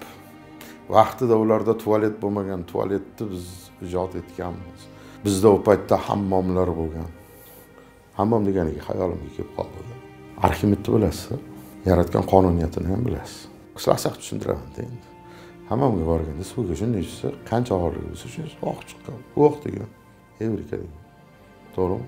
Sizda hammom to'rt besh ming yildan bor ekan bu yerdan bor ekan. Nima shu qonuniyatni siz kashf qilmadingiz. Ha? Azizim millatdoshim qadim sivilizatsiyani lof uruvchi demak ma'rifat hammomda emas ekanda. Nyuton o'tiruvdi bog'da kallaga tup etib olma tushdi. Olma faqat angliyada pisharmidi osmonga qarab bizda ham bo'lgan tepaga qarab tup etib peshanasiga tushadi ekanlar. Nega biz kashf qilmadik bo'lmasa? Va bir ming to'rt yuz yil avval qur'onda yozilgan edi deb o'ziga taskin berayotganlarga savolim embrion biz deydi atomni bo'linishi qur'on. To'ppa to'g'ri. Ollohni mo'jizasi bu qur'oni karimda bor. Biz musulmonlar nimaga kashf etmadik? Ilm sifatida. Ma'rifat hammomda emas ekan demak. To'g'rimi? Taskin berib yashamaslik kerak. Ilmsizlik bilimsizlik eng katta fojiamiz. Bugungi kunni eng katta fojiasi. O'sha ma'naviy qashshoqlik deysizu. Ma'naviyat paydo bo'lishi uchun avval ilm paydo bo'lishi kerakda insonda. Ma'rifat bo'lishi kerak avval. O'sha ma'rifatni mahsuli ma'naviyat. Ilmda chunki u. Maorif o'shandan kelib chiqishi kerak hamma narsa. O'zbekiston besh yildan so'ng qanday bo'ladi? Og'ir savol bu. Savolingizga javob bermayman. Sababi bor. Men sizga hozir ba'zi narsalar haqida gapirib beraman. Xulosani o'zingiz qiling. Ta'lim darajasi davlatlarni reytingida ikki ming yigirmanchi yil holati oxiriga bir yuz sakson to'qqizta davlat bor ichida bir yuz sakson to'qqizta davlatni ichida biz yetmish birinchi o'rindamiz qirg'izistondan keyinmiz. Bilim boru bilim. Holatimizni aytamanda ya'ni bugungi kuningizni tanqidiy ko'z bilan qaramasangiz kelajak. Hozir bilasizmi mana bu nima bugungi kunimiz haqida gapiryapman deyapman. Gapiraylik. Javob bermayman savolingizga sababi bitta dnk degan narsani tushun eshitgansiz insonni dnkasi bo'ladi. Xnkni eshitganmisiz? Bir mashhur odamni gapi bor edi. Haqiqat siz uni bilmasligingiz yoki rad etishingiz bilan o'zgarib qolmaydi deydi. Dunyoda dahshatli narsalar ro'y beryaptiki ilm fanda revolyutsion natijalar ro'y beryaptiki biz hali u haqda u jarayonni ichida turish tugul uni ichida yo'qmiz. Yaqinda olimlar e, bir anaqa tarqatishdi. Report deydi report tarqatishdi. ikki ming o'n yettinchi yilda tug'ilgan bolalarni oltmish sakkiz foizini kelajakda qaysi kasbda ishlashi hali ijod etilmabdi. Ya'ni ular ishlaydi qaysidir kasblar lekin u kasblar hali ijod etilmagan. Tushunyapsizmi bugun dunyo yangi bir eraga kirdi taraqqiyot yangi erasiga kirdi. Bugun dnk o'sha x enka dedimku insonni hujayrasini sun'iy hujayralar yaratildi. Xitoyda biz bilamiz bilmaymiz lekin bo'lgan bo'lgan hodisa bo'layotgan narsa. uch d 3 d deydi. uch d printerda chop etilgan sun'iy organ bilan sichqon uchta sun'iy organ bilan uch oy yashadi. Bugun ana kirib ko'ringlar yevropani tadqiqot institutlarida. Karbon kukun oddiy kukun karbon. Karbondan hujayra hayot yaratilyapti. Biz yetmish birinchi o'rindamiz. Bilimga ehtiyoj judayam katta bugun. Ya'ni kelgan holatimizni aytamanda shu paytgacha nima edi? Bundan keyin dunyo tamomila boshqa qonuniyatlar bilan rivojlanadi. Ha avval nima edi? Kuch. Insonni kuchi ishchi kuchi energiya boylik rohatni ta'minlaydigan omil edi. Sizga bitta narsani ko'rsatdik rejissorimizdan iltimos qilamiz. Buni bir anaqada chiqarasiz. Mana bunga qarang mana bu aqshni bir ming to'qqiz yuz elliginchi yildan ikki ming o'ninchi yilgacha bo'lgan mana qarang e, qizil rang boylik mana bu ko'k rang. Energetika ishlab chiqarishi buni qarang energiya ko'paygan oltmishinchi yillar boylik ham ko'paygan yetmish ham xuddi shunday sakson ham shunday. To'qsoninchi yillardan keyin nima bo'ldi? To'qsoninchi yillardan keyin qarang energiya bir pastga tushdi. Lekin energiya ko'paygani yo'q. Lekin boylik ortib ketyapti. Bunga qanday erishdi aqsh mana bu bilan erishdi. Bilim bilan erishdi. Aql zakovat bilan erishdi. Ya'ni energiya bugun ko'p kerak emas bugun energiya. Bilim bilan qilinyapti hamma narsa. Bu dahshatli ko'rsatkich bizda qancha energiyamiz bo'lsa yuribmiz hali. O'zimizni o'zimiz aldab o'zimizni o'zimiz to'g'riroq ovunib nima bo'lyapti? Yangi nasl ishlab chiqarish korxonasi olib kelyapman. Qo'l mehnatida qilyapsiz. Avtomat bo'lsa ham o'sha avtomatda qilyapsiz. Narsani toki ishlatyapsiz boshqa ishlatyapsiz. Lekin dunyoni eng rivojlangan mamlakati aql bilan pul topyapti. Siz baribir mehnat bilan pul topyapsiz. Dunyo o'zgaryapti janoblar. Bugun bilim bilan shug'ullanish vaqti keldi. Bilimni o'stirish vaqti keldi. Prezident bekorga aytmayapti. Yangi o'zbekiston degan iborani nimaga bu ibora ishlatildi yangi dunyoviy tartibda yangi o'zbekiston bo'lishi kerak. Yangi taraqqiyot parametrlari bo'lishi kerak. Prezident aytayotgan narsa mana shu. Qo'yayotgan talab mana shu. Yangicha dunyoqarash eng katta qo'yilayotgan narsa. Ana e'tiboringizni yana bitta narsaga tortaman yigitlar shu mendeleyevni anaqasini beringlar. Butun bor moddalar mana shu jadvalda bor shu mendeleyev jadvalda bor to'g'rimi? Xo'sh bu jadvaldagi elementlarni qaysi davlatlar topdi bilasizmi? Yigitlar chiqaringlar endi qaysi davlatlar topishganini birorta bir kambag'al davlat ko'ryapsizmi ichida undan ham og'ir. Biror bir musulmon davlatni bayrog'ini ko'ryapsizmi? O'zimizni ovutib yashayapmiz. Bugun o'zingizni ovutib yashashingiz eng katta gunoh eng noto'g'ri ish o'zingizni ovutib yashatish o'tmish bilan ovutib yashash. O'tmish bilan ovunib yashash eng katta gunoh. Bilimsizlik bizni eng katta fojiamiz. Nimaga birinchi marta yaxshi gap bilan keyin qattiqroq keskin gap bilan oxirgi marta juda keskin gap bilan prezident o'qituvchilarni jamiyatda obro'sini oshirish haqida qattiq talablarni qo'yadi. O'ylab ko'rdingizmi? O'qituvchi esingizdan chiqmasin. Bu millatni bu davlatni kelajagini bunyodkori o'qituvchi bo'ladi. Biz buyuk kelajak haqida ko'p gapiramiz yoshlar kelajagimiz bunyodkori deb shiorlar osamiz yanglish shiorlar ular. Eng katta xato bu. Kelajakni bunyodkori bugungi o'qituvchilardir. O'zbekistonni kelajagi o'qituvchilarning asaridir. Bugun yozilayotgan asaridir. Bugun maktablarda erkak o'qituvchilarni kamaytirib tashlab ertaga oriyati kuchli o'limdan qo'rqmaydigan vatan uchun jon berishdan qo'rqmaydigan bolalarni kutish juda katta xato.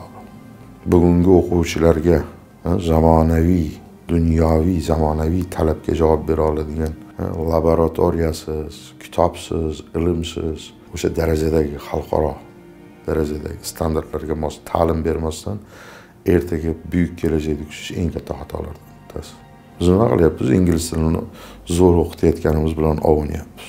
Dunyoda nima ro'y beryapti? Kichkinagina apparatchalar chiqqan hozir qulog'ingizga taqasiz nastroykasini qilasiz qarshingizdagi odam taqadi u yapon tilida siz o'zbek tilida bemalol gaplashasiz. O'zi tarjima qilib yuboraveradi. Ya'ni tilga ham ehtiyoj qolayotgan joyi yo'q. Bugun o'zbekistonni dushmani kelib tank bilan samolyot bilan kelib askarni qonini to'kishni maqsad qilmayapti. O'sha askarni o'zini ayolini bolasini onasini shuurini fath etmoqchi.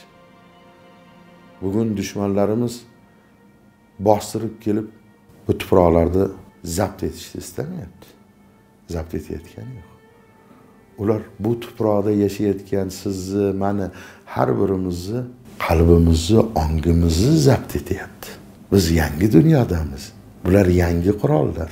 Bugungi o'qlar haqiqiy o'qlar. Tanaga kirib qon chiqarmaydi tanani jarohatlamaydi. Zehnni zehniyatni zaharlayapti. Zehniyatni jarohatlayapti. Biz bularga qarshi himoya tizimimiz kerakmi?